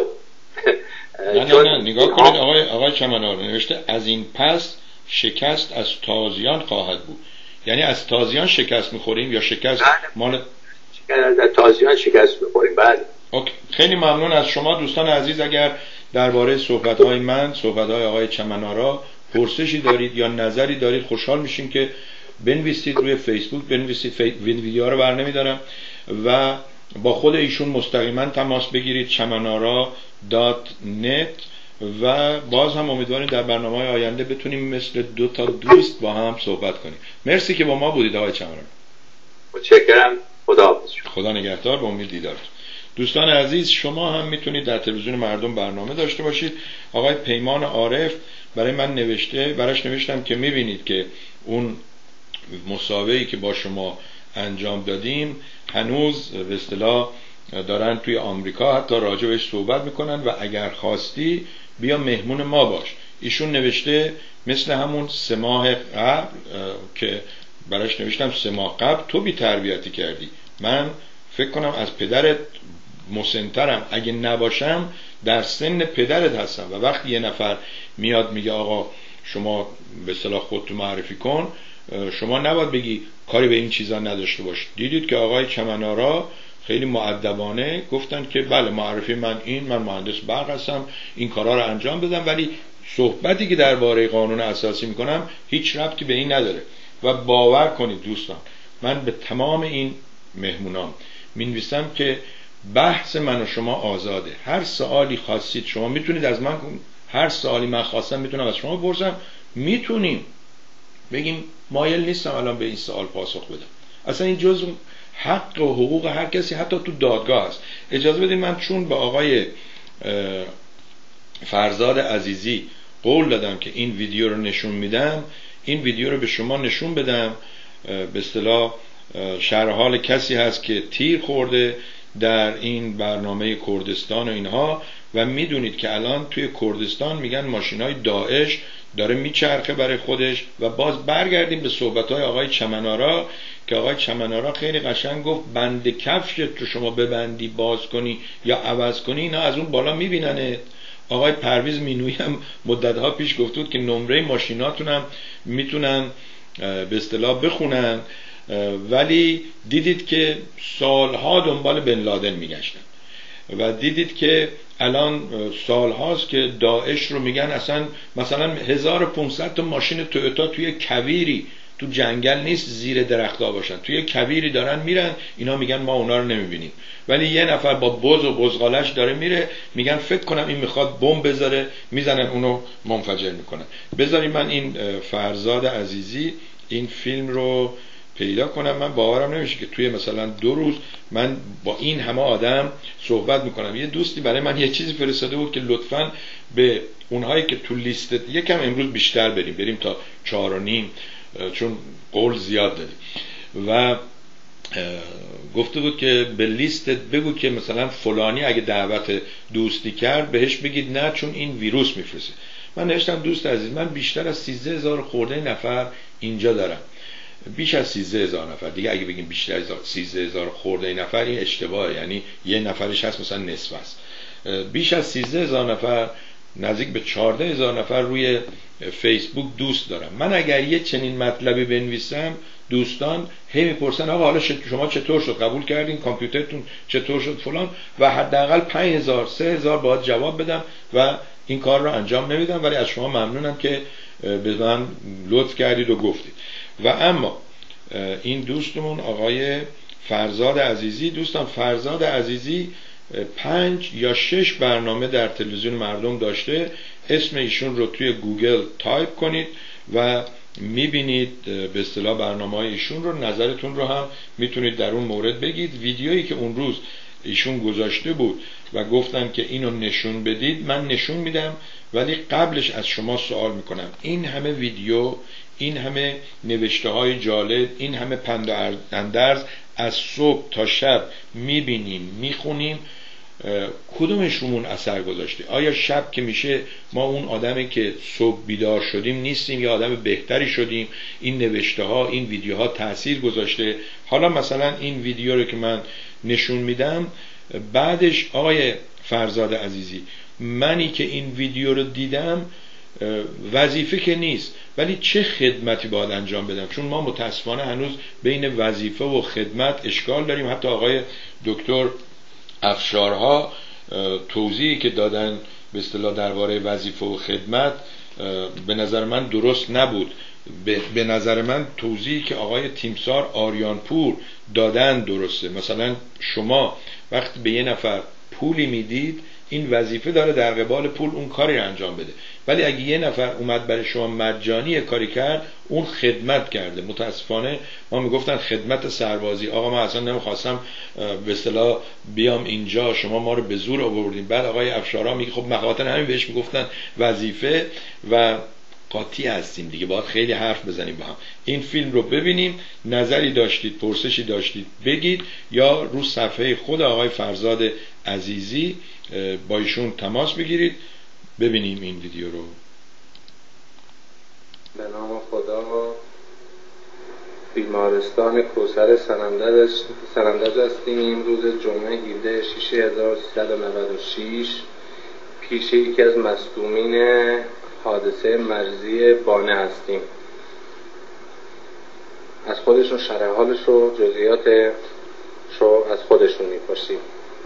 خوبی آقا؟ اسمتون چیه؟ میشه خودتون رو معرفی بفرمایید. شورش قادر زاده اهل کجا مرزی حاج عبدالبانه خب. خواستم حیوان گوسفند بخرم. خب. اونجا شب دیگه. ساعت دو نصف شب شد. دیگه خوابیدیم اونجا. مامورا بدون اینکه ایستادن بهم شلیک کرد. خب بهت شلیک کردن. تیر به کجا خورده؟ تیر خورده به ران چپم خب. با کلیم هم گرفته خورده به نخواهم خب. بعدش؟ بعدش میشه اون اینا با رو پوشتون رو بدیم بالا. اینا با لگد و خوندا و اینا ریختن تو سر. با لگد و قنداق اسلحه ریختن رو سرت کتکت زدن درسته؟ این به خاطر این کلیم از دست به خاطر همین کتککاری کلیت از دست دادی خب چی شد کلیتون؟ کجا جراحی شد؟ کدوم بیمارستان؟ جراحی شده کدوم بیمارستان؟ سرخواست جراحی شده کلیم و تیر به نخواه خورده. تو بیمارستان کوسر در آورد تیرم به نخواهتون خورده. تو بیمارستان کوسر سنندج عمل جراحی نخواه شدی الان چی شده نخواهتون بهبود یافتین یا نه؟ نه. هنوز با هم سوره هیچ حسی ندارم. شاید تو آینده هم فلج باشه. خب دکتر بهتون چی گفتم دکتر احتمال فلجی هیچ بهتون گفتم فلج نداره. خب الان شکایتتون از کیه؟ از کی گله دارین؟ درخواستتون چیه؟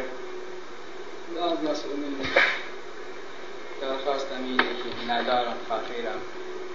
دو تا بچه دارم. خب. بی وضاحتم. بچه هاتون چند سالشونه؟ بچه هم, دو قلو. الان یک نرسیدم به یه سال.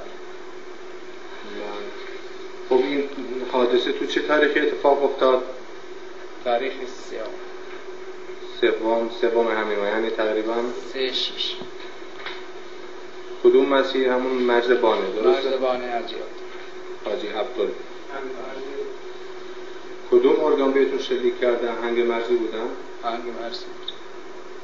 الان افتادین یک کلیتون رو از دست دادین بر اثر کتککاری بر اثر اصابات گلولم قدن خواه شدین درسته؟ این هم گزارش پزشکیشون که آقای دکتر نظام الدینی سید اکبر نظام الدینی چیز کردن هزینه های بیمارستانش هم آزاد حساب کردن چون تیر بهشون خورده هم هزینه بیمارستانشون. باید آزاد بنده خدا حساب کنن و پرداخت. 13 میلیون و 835 هزار تومان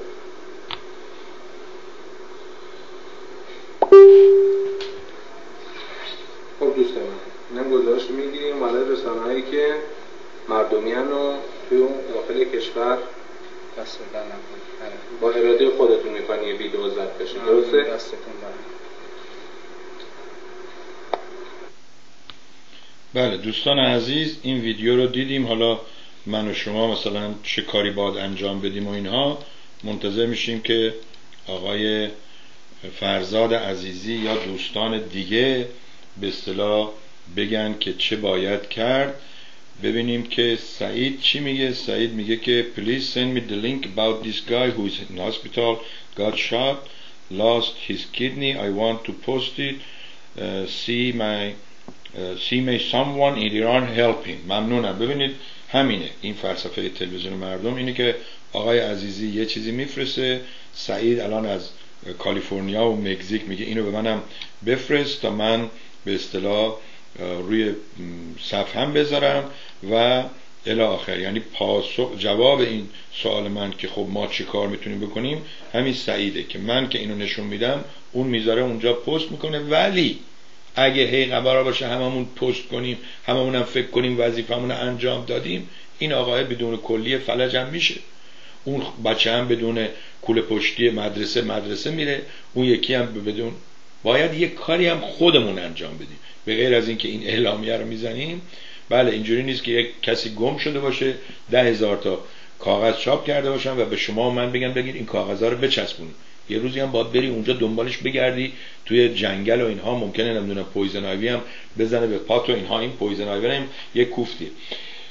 علی جان مخصوصا شما که الان مسیحی شدی یه کمی بیشتر درباره مسیحی بودن و احترام گذاشتن به دیگران مطالعه کن. من نمی‌دونم این سوال شما شما شیرازی هستی منم شیرازی هستم. جناب چمنارا امامه از کجا پیدا شده؟ خب چه کار به ام... چه کار به آقای چمنارا داره؟ آقای چمنارا مهندس برقه که حالا در قسمت گاز و در قانون اساسی هم چه می‌دونه؟ بعد شما بزن امامه هیستوری برات میاد که از قدیم آدمای دیکتاتور برای که خودشونو بزرگتر از دیگران نشون بدن امامه میذاشتن سرشون. کلاه میذاشتن سرشون. کلاه امیر کبیر خودمون نگاه کن ببین چه جوریه. کلاه آبراهام لینکن رو نگاه کن ببین چه جوریه. دراز چه قدی هم داشته. کلاه نادرشاه هم همینه. حالا بیا جلو بیا جلو.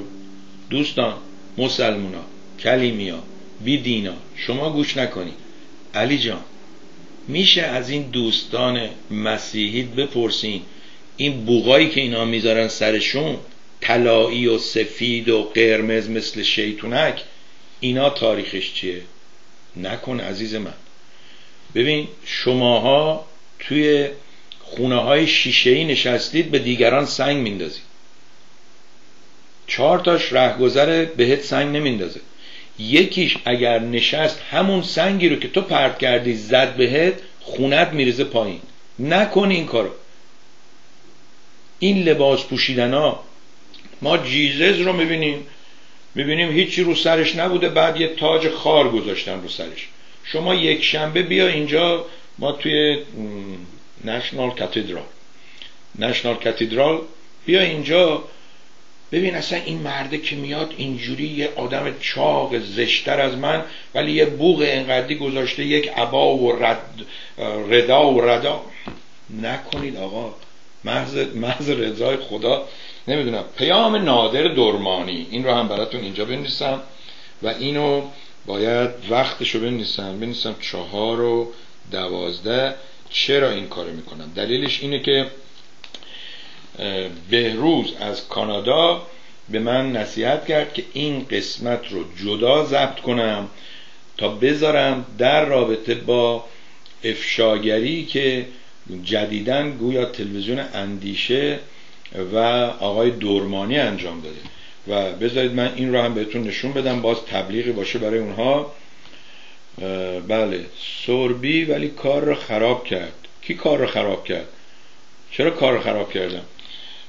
بذار من برات اینجا فرستادم یا نه؟ بذار ببینم. نکن دیگه وسط برنامه اذیت نکن. send از مسیج چشم. اینجا می برای این. بر فرستادم. اسم این آقا شورش قادرزاده است. نمی‌دونم متوجه شدید یا نه. میگه من رفته بودم بره بخرم. شد دو صبح. دیگه ما گفتیم همونجا بمونیم. می‌دونی خیلی ها بلند میشن میرن تو ده و اینها بره می‌خرن حیوان می‌خرن.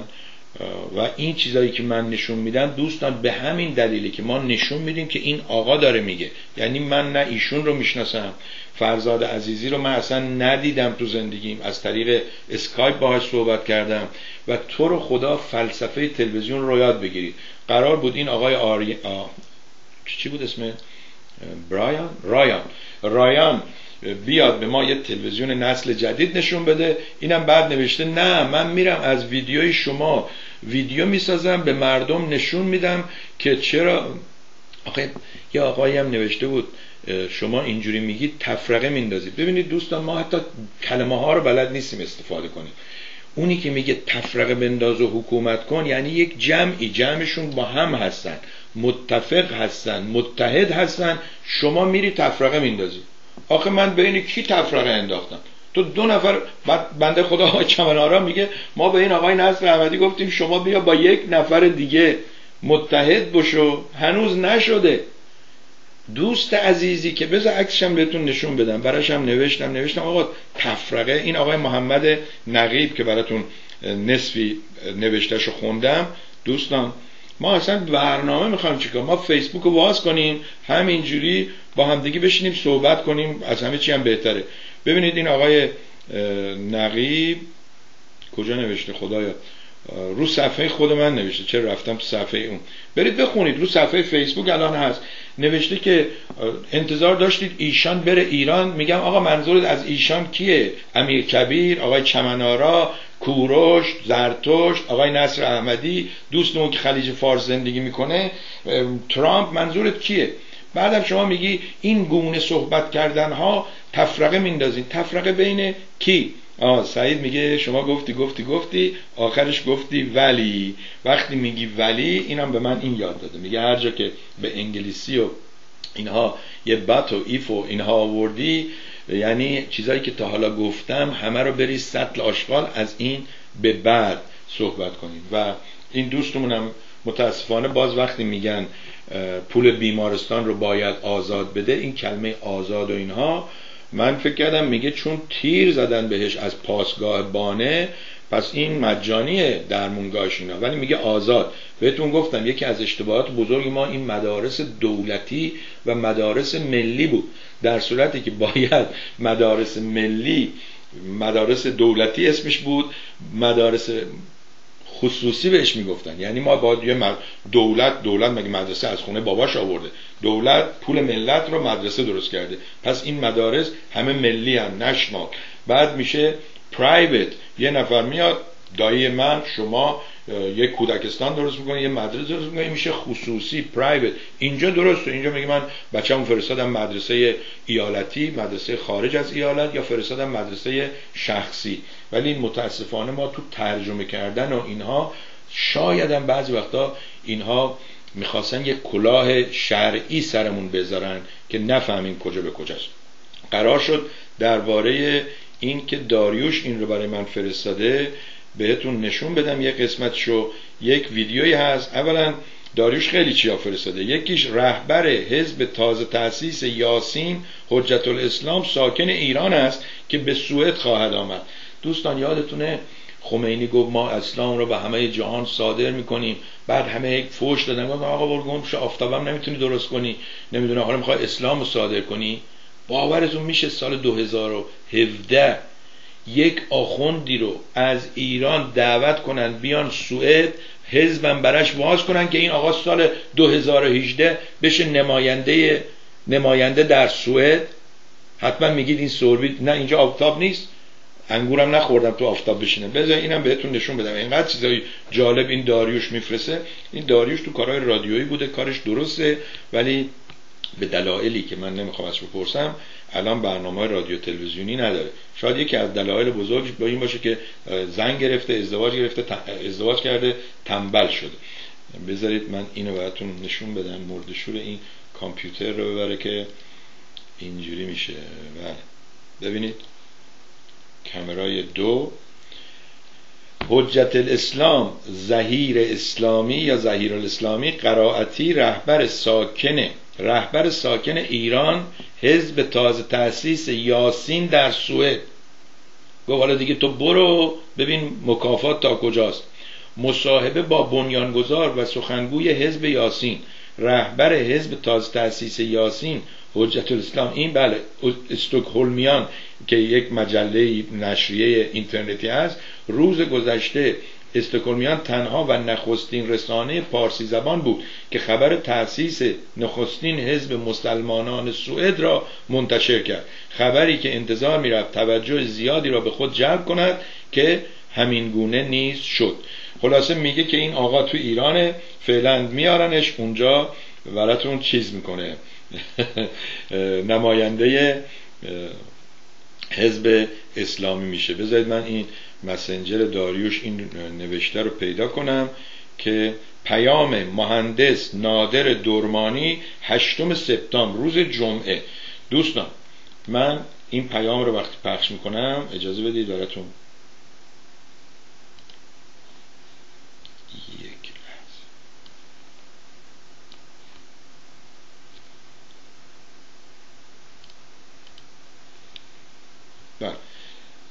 دوستان عزیز مدتی هست که آقای شهرام امایون و کانال یک اینو من دیدم. اگر کسی دیگه از تلویزیون دیگه هست به من لطف کنید خبر بدید. چون این رو وقتی اینجوری میگه اسم نمی‌برن و می‌ذارن هر کسی درباره هر رادیو تلویزیونی فکر کنه. ولی یه مقدارش رو با هم ببینیم.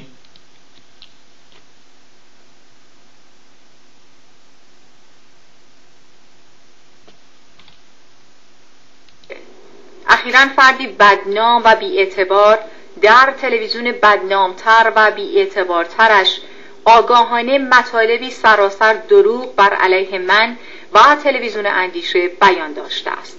قصدم هم دهان شدن با این شخص نیست ولی لازم می‌بینم برای روشن شدن اذهان عمومی مطالبی را با راستی و صداقتی که از من خب حالا دوستان این راستی و صداقت رو من نمی‌دونم شما کدومتون از آقای نادر دورمانی دیدید. یک کسی که سالهاست پشت تلویزیون اندیشه پول خرج می‌کنه و میشه گفت پشت شورای مقاومت شازده بوده و اینها و میشه گفت یه آدم مجهول الهویه هست. حتی پیامی که می‌خواد بده در تلویزیون خودش این خانم رو کامیشن کرده یا استخدام کرده تا پیامو بده. ولی چون توی این پیام دوستانی که آقای نادر دورمانی رو می‌شناسید مخصوصا اونایی که تو کانادا هستن مخصوصا بهروز عزیز که به من گفته فیلمی که می‌سازی جدا بذار و این کارو می‌کنم با آقای دورمانی بگید. توی همین نواری که صحبت می‌کنی که میگی آقای کاردان آمد گزارش درست کرد از خانم فرح دیبا پهلوی و شما خرجش رو دادید آقای نادر دورمانی آقای پرویز کاردان شاهد هستند و ایمیل ها و نوشته هاشون موجوده که ایشون بنده رو استخدام کردن که من دو نفر دیگه فیلم بردار هم استخدام کنم به مبلغ 2600 دلار برای دو روز دو جلسه. یکی جلسه ای که آقای شاهزاده بیاد از روی آتش بپره به امید اینکه خشتکش پاره نشه و این دیگری بریم منزل خانم فرح دیبا و فیلم بگیریم. من به آقای کاردان گفتم که شما که می‌دونی من با اینها مشکلی ندارم ولی اینها با هر کسی که حقیقت رو بگه مشکل دارن. آقای کاردان به من گفت حالا شما چه دیدی؟ شاد شما من باعث شدم با شما آشتی کنم. اوکی؟ بعد اینها پول 2600 دلار من را ندادن آقای نادر دورمانی. دوستانی که آقای نادر دورمانی رو می‌شناسید. بگید حالا که شما این پیام رو فرستادید دلیلی شده که نزدیک به دو سال یعنی چهارشنبه سوری کیه؟ چهارشنبه سوری جدید که بیاد دو سال هست که آقای پرویز کاردان به نیابت و نمایندگی از تلویزیون اندیشه حتی به من گفت که چند میشه اینجوری گفتم اینها. گفت خب پس من حالا با آقای دورمانی تماس می‌گیرم و به شما برمیگردم و برگشت قبول کرد. ما آمدیم. روز اولم بنده رفتم اونجا به گواهی ارشیا کیا و باباش و اینا همه اونجا بودیم. بعد آقای پرویز کاردان ایشون فکر کنم بهایی باشه و دروغ به نظر من نباد می‌گفت. حتی به من دروغ گفت. گفت آقای سوربی من از اینا ناراحت شدم و شما درست می‌گفتی اینا اینجورن و اونجورن و من هم. به دخترم گفتم بلیت منو عوض کن. برمیگردم دروغ گفت. آقای نادر دورمانی آقای پرویز کاردان دروغ گفت. پول ما رو نداد. ما ستب کرده بودیم. 900 دلار بنده به اونا دادم که بیان با پرامتر و اینها فیلم برداری کنن و خودم هم رفتم یعنی 2600 دلار. من حتی به آقای کاردان گفتم گفتم آقای کاردان شما می‌دونی من از موقعی که دانشجو بودم برای دایی شما حاجی تسلیم کمپانی ایران ناسیونال شیراز کار می‌کردم و برای شما آب لیمو اینها می آوردم تهرون میذاشتم توی اون گاراژ. ماشینا رو با اون هیئت دانشجویی کاروان دانشجویی برمیگرداندیم و شما می‌دونی من آدم کارگر و زحمتکشی هستم و 2600 دلار برای آقای دورمانی ممکنه چیزی نباشه. برای شما که ماشاءالله الان هفتاد خورده سال هشتاد سالتون هنوز پول می‌سازید و خدا می‌دونه چقدر پول دارید چیزی نباشه. دخترتون دادستان یا وکیله چیزی نباشه. و من می‌تونم قانونا شما رو در فرفکس ویرجینیا به دادگاه بکشم. ولی آقای کاردان تا امروز به من هیچ بدی نکرده. یعنی تا اون روز. و گفت که حالا شما صبر کن بذار من شاید بتونم از این ور یه پولی تهیه کنم. به جای این پول مثلا ما به شما فیلمی بدیم ویدیویی بدیم نشون بدید و اون پول رو پرداخت کنیم که این کار رو هم نکردن. ناگفته نماند. گفت چون بدیاشو گفتی خوبیاشم بگو. یک بار ایشون به من زنگ زد گفت ببین سرب جان من به فکرت هستم. یه نفر آمده می‌خواد فیلم بگیره. من بهش گفتم دوربینچی و اینا از کالیفرنیا نبر و سوربی این کار انجام میدی. وقتی من با اون آقا صحبت کردم به نظر می‌رسید ایشون دنبال این دانشجوهایی هست که مجانی میرن. کار انجام میدن که فقط یه گواهی بگیرن بله من اون روز رفتم از فلانی فیلم برداری کردم. من دیگه از اون سن و سال گذاشتم و نوع کار من از این حرفا بیرونه. یک بار دیگه دوستانی که آقای نادر دورمانی رو می‌شناسن. آقای فروزنده منو می‌شناسه. آقای شهرام همایون می‌تونی این نوار رو استفاده کنی تا روزی که پول من رو بدن و من بگم که پول من رو دادن. اینها این چکش. 2600 دلار از تقریبا دو سال. حالا بزنم مارچ سه ماه و سه ماه هم اینجا. 18 ماه پیش 2600 دلار تلویزیون اندیشه که مدیرش آقای کاردان بوده و هست به من بدهکاره خداییش این ویدیو باعث شد شاید من شکایتم رو اینجا سی دلار میدی تا پنج هزار دلار می‌تونی شکایت کنی. شاید شکایت کنم بلکه اینجوری به دست آقای دورمانی برسه چون همون جوری که آقای پرویز کاردان به من دروغ گفت که منم آقا نمیرم حالا که اینجوری شد. ولی بعد دیدم اه فیلم گرفته با خانم فرح دیبا درباره همون موضوع. بعد دیدم همون شب فیلم گرفته با رضا پهلوی همون جایی که ما بودیم جلو اون فریدم پلازا یا جلو تئاتر وارن اینها. در صورت آقای کاردان شما به من دروغ گفتی. آقای کاردان آقای دورمانی تلویزیون اندیشه شما 2600 دلار به من بدهکارید. این پول رو بدید آقای فرامرز فروزنده آقای شهرام همایون تلویزیون های دیگه آزاد هستن. این ویدیو رو تا جایی که می‌تونن نشون بدن و اینکه آقای دورمانی میگه که نه من به هیچ کس بده کار نیستم و پولی هیچ کار نخوردم و من دیلر خوبی هستم. می‌دونید که بدترین جوک ها رو توی آمریکا و کانادا درباره ماشین فروش ها میگن. حالا آقای دورمانی ممکنه امروز ماشین نو میفروشه و اینها ولی من نمی‌دونم سابقش چیه ولی این ویدیو رو بهتون نشون دادم. ضمن این خانمه اون الهام ساتاکی ستاکی این نیست که چند سال پیش اینجا آمد 2006 بعد تلویزیون Voice of America بود. یه بار دیگه بهتون نشون میدن این اون خانم نیست الهام ستاکی ساتیکی یه نمی‌دونم چیزی. در صورت دوستان عزیز این بود برنامه امروز ما. باز از آقای سهراب چمنارا ممنونم. یک بار دیگه از ایشون عاجزانه خواهش می‌کنم که ویدیو خودشون با من نگاه, نگاه کنن. این بار یک کرنومتر داشته باشن. متوجه شدم که آقای چمنارا برعکس من که همیشه سه چهار تا خودکار و قلم اینجا دارم یه سری هم توی این به اصطلاح لیوان دارم اینها باور ندارن که وقتی مصاحبه میشن یا یه جایی صحبت می‌کنن یه قلم و کاغذ داشته باشن که اگر کسی ازشون یه چیزی می‌پرسه بنویسن. من به شما پیشنهاد می‌کنم هر وقت می‌خوان یه جایی باشین یه صحبتی حرفی گفت و شنودی چیزی داشته باشید کاغذ و قلم فراموش نشه. ضمنا یادتون باشه هزاران نفر خواستار پس گرفتن جایزه صلح نوبل شدن. که اون انگ سان سوچی و نمی‌دونم یه جا نوشتودن می‌گیرن ازش یه جا نوشتودن نخیر اصلا تو اون برکتی نیست که اینجوری باشه. مقایسه همورابی با کوروش رو آقای چمنارا جسته و گریخته گفتن و قبول کردند که اینها 1500 سال قبل از تورات. ولی یادتون باشه این تورات تورات هم یکی دیگه از حربه دوستان کلیمی است. که معلوم نیست کی نوشته شده. حالا باز بایبل یا انجیل میگن 300 سال بعد از جیزز یه خانم پولداری یک ملکه بچهش پسرش رفته دنبالش و اینها.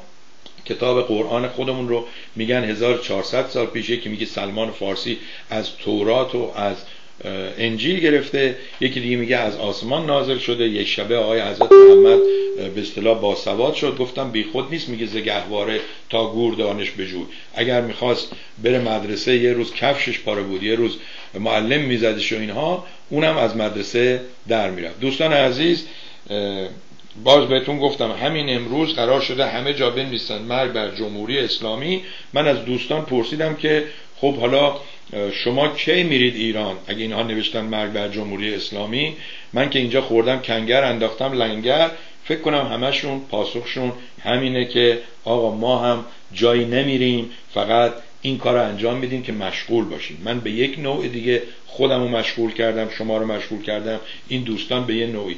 دلم نمیاد این نوشته آقای رایان رو با شما در میون نذارم و ببینید کسایی که فکر می‌کنن ما بهشون توهین کردیم. یا چیزی گفتیم برخلاف حقیقت دوستان این هست. من براتون این قشنگ حالا اسم رایان که مسئله نیست. میلیون ها رایان داریم. ولی من براتون نوشته خودش رو براتون نشون میدم. نوشته ایشون رو برای شما نشون میدم که ببینید چی میگن. و این سوال رو دوستان از خودتون بکنید. آیا شما تشخیص می‌دید برید دکتر. و دکتر بهتون بگه آقا همه چی خوب. عین ساعت سوئیس. عین جوون چهارده ساله. بعد میاین خونه. شام می‌خورید میافتید میمیرید. یا اینکه دوست دارید دکتر بهتون بگه که عیب و ایرادتون کجاست. آقا قلبت نمی‌دونم ضربانش ایریگولاره. آقا نمی‌دونم این خونت کلسترولت بالان فشار خونت بالان. باید این کار انجام بدی و الی آخر. ببینید آقای رایان بعد از اینکه به من و شما ما نمیگیم توهین کرده انتقاد کرده که ما یه سری دیوونه های عقب افتاده هستیم. حالا منتالی ریتاردد منتالی ریتاردد یعنی آدمای به اصطلاح دیوانه چون دیگه عقب افتاده نمیشه. I had no intention to hurt you. میگه من هیچ به من نمی‌خوام شما رو آزرده کنم. Being Iranian is a crime. میگه این روزها آدم ایرانی باشه مثل اینکه یه جرمی انجام داده. A shame in our time. یا یک خجالت بزرگیه. نه اصلا اینجوری نیست. اصلا اینجوری نیست. همون زمانی هم که ایرانیا هاستیج گرفته بودن دو تا داداش من اینجا بودن و وای میسادن قشنگ صحبت می‌کردن می‌گفتن که ما کاری به این آخوندا نداریم اونا یه سری های جدیدن که اومدن چنین و چنان. شما هم به جای اینکه از من بخوای دروغ بگم رایان عزیز بیا بشین حقیقت رو برای مردم بگو که از ایرانی بودن خودت خجالت نکشید من از ایرانی بودن خودم خجالت نکشیده نمی‌کشم و نخواهم کشید. ایشون میگه all you do. میگه تمام این کارهایی که شما انجام میدی is to sink Iranian deeper and deeper. مثل اینکه یه باطلاقی می‌خوای ایرانی ها رو بکشی پایین. Always complaining them uh, always breaking them. همیشه داری شکایت می‌کنی همیشه داری روحیه اینا رو خورد می‌کنی. خب حالا ببینیم ایشون چه نصیحتی می‌کنه. خیلی جالبتر میشه. Let them grab to their کوروش to their فردوسی that's all they have.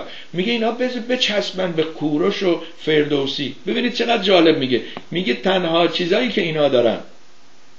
Let them be happy with their false dream. دوستان من اینو باید طلا بگیرم. میگه بذار بچسبن به اون چیزا. این چیزایی که اینا دارن تنها چیزشون کوروش و فردوسیه. و خیلی قشنگ خودش توضیح میده بذار اینا خوشحال باشن با این امید و آرزوهای واهی دروغ بیهوده. Don't break their heart. قلبشون رو نشکن. Don't complain them. میگه ازشون شاکی نباش. Bring subject to make them happy. یه چیزایی بگو که اینا خوشحال بشن. Don't make them sad and hopeless. اینها رو ناراحت و نمی‌دونم ناامید نکن. چشم. نیل آرمسترانگ و تاماس جفرسون اتسترا میگه نیل آرمسترانگ و تاماس جفرسون و غیره و دیگران were not better than them. اونها هم بهتر از کوروش فردوسی نبودن. All false too. و همشون هم قلابی و غلط و دروغ. حالا نمی‌دونم. این فالس یعنی غلط. یه چیزی که شما میگن true or false. در صورت شما میگی همشون غلط بودن یا همشون اشتباه کردن. For the moment they have the power and all they say is right. میگه در اون زمانی که قدرت داشتن هرچی گفتن درست بوده. نه خیر اینجوری هم نبوده. And democracy is not better than Islam as Sharia. It's all the same. ایشون باور داره دموکراسی بهتر از اسلام و شریعه هم نیست. این دیگه خیلی جالبه. رایانی که فرانسه زندگی می‌کنه مهد دموکراسی به من نصیحت می‌کنه به شما دروغ بگم مثل تلویزیون های دیگه شما رو خوشحال کنم. اون تلویزیون که به شما دروغ گفتن شما رو خوشحال کردن شما به کجا رسیدی که این رایان ناراحته که شما به اونجا نرسی؟ And for the video I sent you I thought you would like the lighting and the camera movement used in that video. As you do in video business Ryan. این نشون میده ایشون من رو کاملا می‌شناسه می‌دونه که من کارم الان 20 ساله کار ویدیو و عکس و اینها هست ویدیو بیشتر از عکاسی خیلی خوشم نمیاد. و خیلی ممنون یه ویدیویی رو فرستاد براش فرست... گفتم آقا این ویدیویی که داره فرانسوی می‌خونه یه خانمی برای من برای چیکار این موضوع داره؟ ایشون بعد نوشت که من اینو فرستادم که شما قسمت نور و اینها گفتم آقا این برنامه که من دارم همین نوری هم که دارم پنج سال پیش سال 2012 یه خانمی از فرانسه پول فرستاد و ما این نورا رو خریدیم. اگه اینا بسوزه دیگه نور نخواهیم داشت. و من وقتی میرم یه جایی استخدام میشم 400 دلار 600 دلار 900 دلار 1000 دلار می‌گیرم اون نور و وسایلی که می‌بریم بعضی از این وقتها اینا اجاره برای که بتونیم جدیدترین دوربین رو داشته باشیم بهترین نور و وسیله رو داشته باشیم میریم اینجا. از اونایی که دوربین اجاره میدن دوربین اجاره می‌کنیم رنت می‌کنیم. و قرار نیست من اینجا جلوه های نمی‌دونم ویدیویی و هنری به شما نشون بدم. می‌خوام حقیقت رو بهتون بگم. می‌خوام بگم آقا اینجوری که میگن نیست. بنده که شیرازی هستم اگه اون سرباز و سپاه کوروش رو میگن آقا تو همه کوچه های شیراز باید یه خونه هم بوده باشه ببینیم این چرا اینجوری شده. آقای چمنارا رفته ایشون داره صفحاتی رو که چمنارا با ما بوده نشون میده. هفت بذارید اصلا خاموش کنیم فعلا اینو بیاریم. تاریخ و دوشنبه چهارشنبه بعد. این. بعد. سربی با مردم دوشنبه بیستم شهریور. دوستان عزیز. اگر از حقیقت خوشتون میاد دکتر که میرید بهش بگید که اصلا دکتر نری دکتر نری سالها پیش وقتی ما کامیون اینا زیاد داشتیم یه نفر اومد توی یارد اینجا این گاراژ رو میگن یارد. و گفت صاحب اینا کیه؟ گفتیم من با برادرم. گفت که آقا ما یه شرکتی هستیم میایم این لوله آزمایش رو میدیم به شما. روغن که عوض کرد میکانیکتون یک کمیشو بریزین تو این می‌بریم آزمایش می‌کنیم. میایم به شما میگیم که این ماشینتون این یکی یا تاقانش این مدت دوام میاره این فشار روغنش اینو اون. فعلا من این روغن رو بخورم. بنوشم. گفتیم بخش خوب برای هر ماشین یه دونه گرفتیم. روز شنبه شنبه هم روزایی که این آقای فیلابی و اینها می‌رفتن جشن مجاهدین و اینها ما کار می‌کردیم. کار کردیم و روغنا رو نگه داشتیم و اینها. بعد یا دوشنبه یا عصرش آقای فیلابی آمد گفت این چی سولوی جان؟ گفتیم که این روغن گو بده من گرفت روغن خالی کرد. گفت بگی برو. گفتیم چرا؟ گفت ببین تا امروز این راننده میرن سر کار خودت رانندگی می‌کنی عین خیالت نیست. از فردا میاد بهت میگه آقا ماشین شماره چهار یا تاقانت 80 درصدش سوخته 20 درصد دیگه مونده. شما همینجور باید از صبح دعا بخونی که این 20 درصد امروز کار کنه شما رو برسون اونجا. یعنی نگرانی میکشده دوست عزیز من آقای رایان چند تا سوال ازت کردم یکیشم پاسخ ندادی. اولا چند سالت من خودت داری می‌نویسی که آقا داستانهای دروغ و دلخوشی های بیخود رو به مردم بده. آقا ملت برین خوش باشید خب اینو که ما سالها گفتیم بیچاره سربی که گرفتار عقل شد. خوشبخت رایان که خر الاغ رفت. برو خوش باش آقا برو تیز کلنگ بنداز.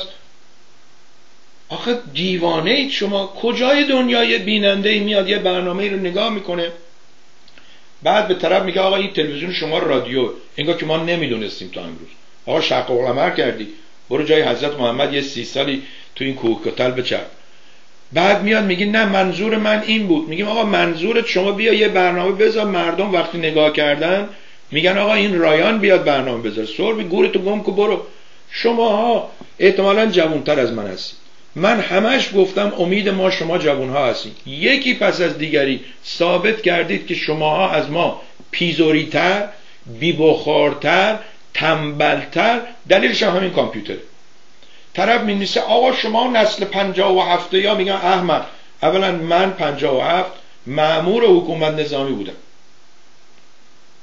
بعد شما متوجه نمیشین نسل پنجاه و هفت یعنی چی؟ یعنی پنجاه و هفت دنیا اومده که میشین شما بعد شما میگید ما حکومت عوض کردیم. کار بدی هم کردیم. آقا ما سی و پنج میلیون بودیم. احمق نادان اولا. احمد شما که 80 میلیون هستید برید یه گویی بخورید. خب رایان عزیز شما دوست داری که بیای اینو بگی که من این جوابت بدم. چون میری اونجا. آقا کوروش بهترین بود. بفرما. عکس کوروش هم کردم برات مجسمه. بخر بکن اونجا. آقا خجالت بکشید. اگه میری دکتر پول بیشتری هم باید بدی. بدی تا اسکن کنن به جای فقط آزمایش خون. دو تای دیگر هم آزمایش کنن. درستشو بهت بگه. حقیقت رو بگه. یا اصلا دکتر نرو.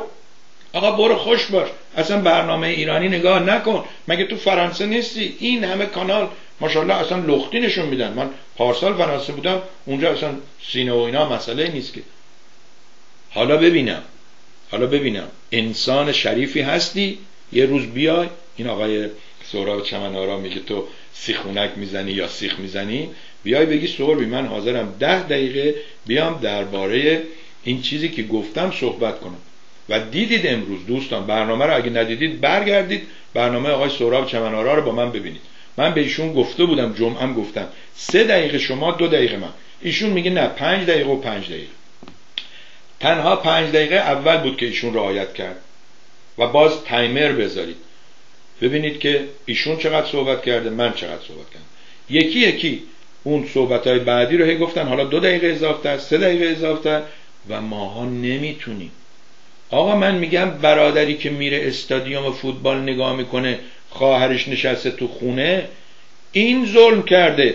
اون وقت از آخوند انتظار داره باور کنید اگه یه روزی بگن دخترها بیان همین برادره به, دخ... به خواهرش میگه می‌دونی چیه؟ به من بر می‌خوره تو بیای نه یا و مسیح علی نجات بعد از چند سال که سربی اینو گفته آقای رایان سوربی اینو گفته حالا مسیح علی نجات میگه.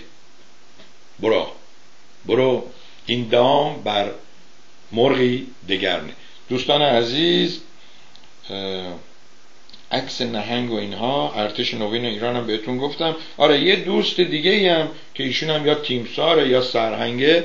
برای من نوشت که آقا تیمسار آریا گفته که با شما تماس گرفته. بعد من چیز می‌کنم. گفتم شما می‌تونی مهمون من باشی ولی بذار من امروز تو برنامه صحبت کنم تا ببینی مهمون بودن اینجا. درسته که خیلی ساده است ولی در حال ساده بودن به اصطلاح کار هر کس نیست مهمان بودن. باید مرد کهن باشی. حالا دیگه نمی‌خوام بگم گاو نه. دوستان عزیز ما امروز دیگه رفتیم ماراتون. دو ساعت و چهل و سه دقیقه با شما بودیم. ممنونم از آقای سهراب چمنارا. ممنونم از فرزاد عزیزی. ممنونم از دوستمون از خلیج فارس. ممنونم از داریوش. و هر کسی این قسمت برنامه رو دید به آقای نادر دورمانی سلام من رو هم نرسونه. چون من اصلا ایشون نمی‌شناسم. کسی رو که نمی‌شناسم سلام برسون بیمعنیه. و کجا بود؟ یه جایی رفتیم با دوستم بودیم. وقتی داشتیم میمدیم طرف گفت سلام برسون. این دوست من برگشت گفت که این کسی رو می‌شناسه؟ تو خانواده شما؟ گفتم نه. گفت منم که نمی‌شناسه. بخواد به کی سلام برسونم؟ گفتم نه. خب خسته نباشید. خیلی حرفاتون قشنگ و منطقی بود. من ممنونم از شما و امیدوارم که بیشتر دنبال این باشیم که حقیقت رو پیدا کنیم. حتی اگر حقیقت تلخه. بارها گفتم دارو تلخه. ولی من و شما رو شفا میده. و چون می‌دونیم شفامون میده تلخیش رو تحمل می‌کنیم. اگر رایان تلخی رو تحمل می‌کرد خیلی قشنگ. به فرانسوی ها می‌گفت که بابا هرچی بودیم ما زدیم حمله کردیم یا حمله کردن گذشت رفت. من امروز فرانسه هستم الان می‌بینم ایران ما دموکراسی توش نیست دیکتاتوری هست. به نظر شما که فرانسوی هستید ما چه کار کنیم که اونجا هم دموکراسی بشه؟ اونا می‌گفتن آقا اصلا از این حرفا نزن. چون ما کردیم حالا ببین فرانسه چقدر این مسلمان های مراکش و اینها اومدن و خود ما می‌خوایم بریم یک کشور دیگه. دوستان عزیز شما می‌تونید در تلویزیون مردم مهمان باشید. پنج دقیقه ده دقیقه سر یه موضوعی که جالب باشه. اگه شما به من بگید من می‌خوام راجع به ستاره های آسمان صحبت کنم میگم لینکشو بفرست من می‌ذارم برات. ده دلارم باید بدی. ولی اگه گفتی من می‌خوام درباره صحبت های تو صحبت کنم مخالفتم میگم بودی بی جلو. این هم از باز آقای پیمان عارف نوشته که درباره کاری که کردی میگم آقا من کاری نکردم من شما رو دعوت کردم. حتی بهت گفتم اینقدر بهت وقت مجانی میدم. شما گفتی نه من اندازه اون می‌خوام. گفتم اون پول داده. و اگه می‌خوای باید پول بگیری. بعد شما لوس رفتی اکثر گذاشتی اونجا که سربی به من گفته پول بده. خوب که من بهت نگفتم چیز دیگه ای بده. پول با, احت... با... چی میگم افتخار میگم باید پول بدی. اگه خاصی آقای پیمان آره. بعد نشته عزیز من کاری نکردم. شما بدون شناخت کافی از موضوع دست به قضاوت چه قضاوتی؟ آقای شادانلو که شما رو شناخت کافی داشته آمده سابقت رو گذاشته اینجا به مردم گفته. اگر دو بعد گفته دروغ گفته برو شکایت کن. من اصلا تو رو نمی‌شناسم. چه قضاوتی وقتی کسی رو نمی‌شناسم؟ چیزایی که شادانلو گفت با این کاری که کردی فهمیدم که بله شما یک کرمی مارمولکی هستی یا یک ریگی به کفشت هست. اون ویدیویی که با خانمت پر کردی. پلیسا آمدن پشت در حمله فرار فرار بعد بری لبنان. لبنان خر فرار می‌کنه از اونجا. حالا این دوستون میگه آقا تو یه چند مدتی به خر توهین نکردی. چرا داری به خر توهین می‌کنی؟ چی بگم؟ دوستان عزیز روز روزگارتون خوش به امید فردای بهتر و آینده روشنتر. این بود برنامه سربی با مردم. تا یکی دو ساعت دیگه روی یوتیوب گذاشته میشه و از تلویزیون مردم هم هر روز پخش میشه. و فیسبوک هم که به جای خودش این چون دوستمون آقای چمنارا بوده مهمون برنامه من ورش نمیدارم و اون لینک ها رو هم اونجایی که یادم بیاد و اینجا نوشتم لینک اون خانم راجع به جلبک الجی فلان اینا این الجی مثل الجی هم هست. تلویزیون های الجی لایف گود میگن بعضی خدا نگهدارتون و مواظب دیگران هم باش.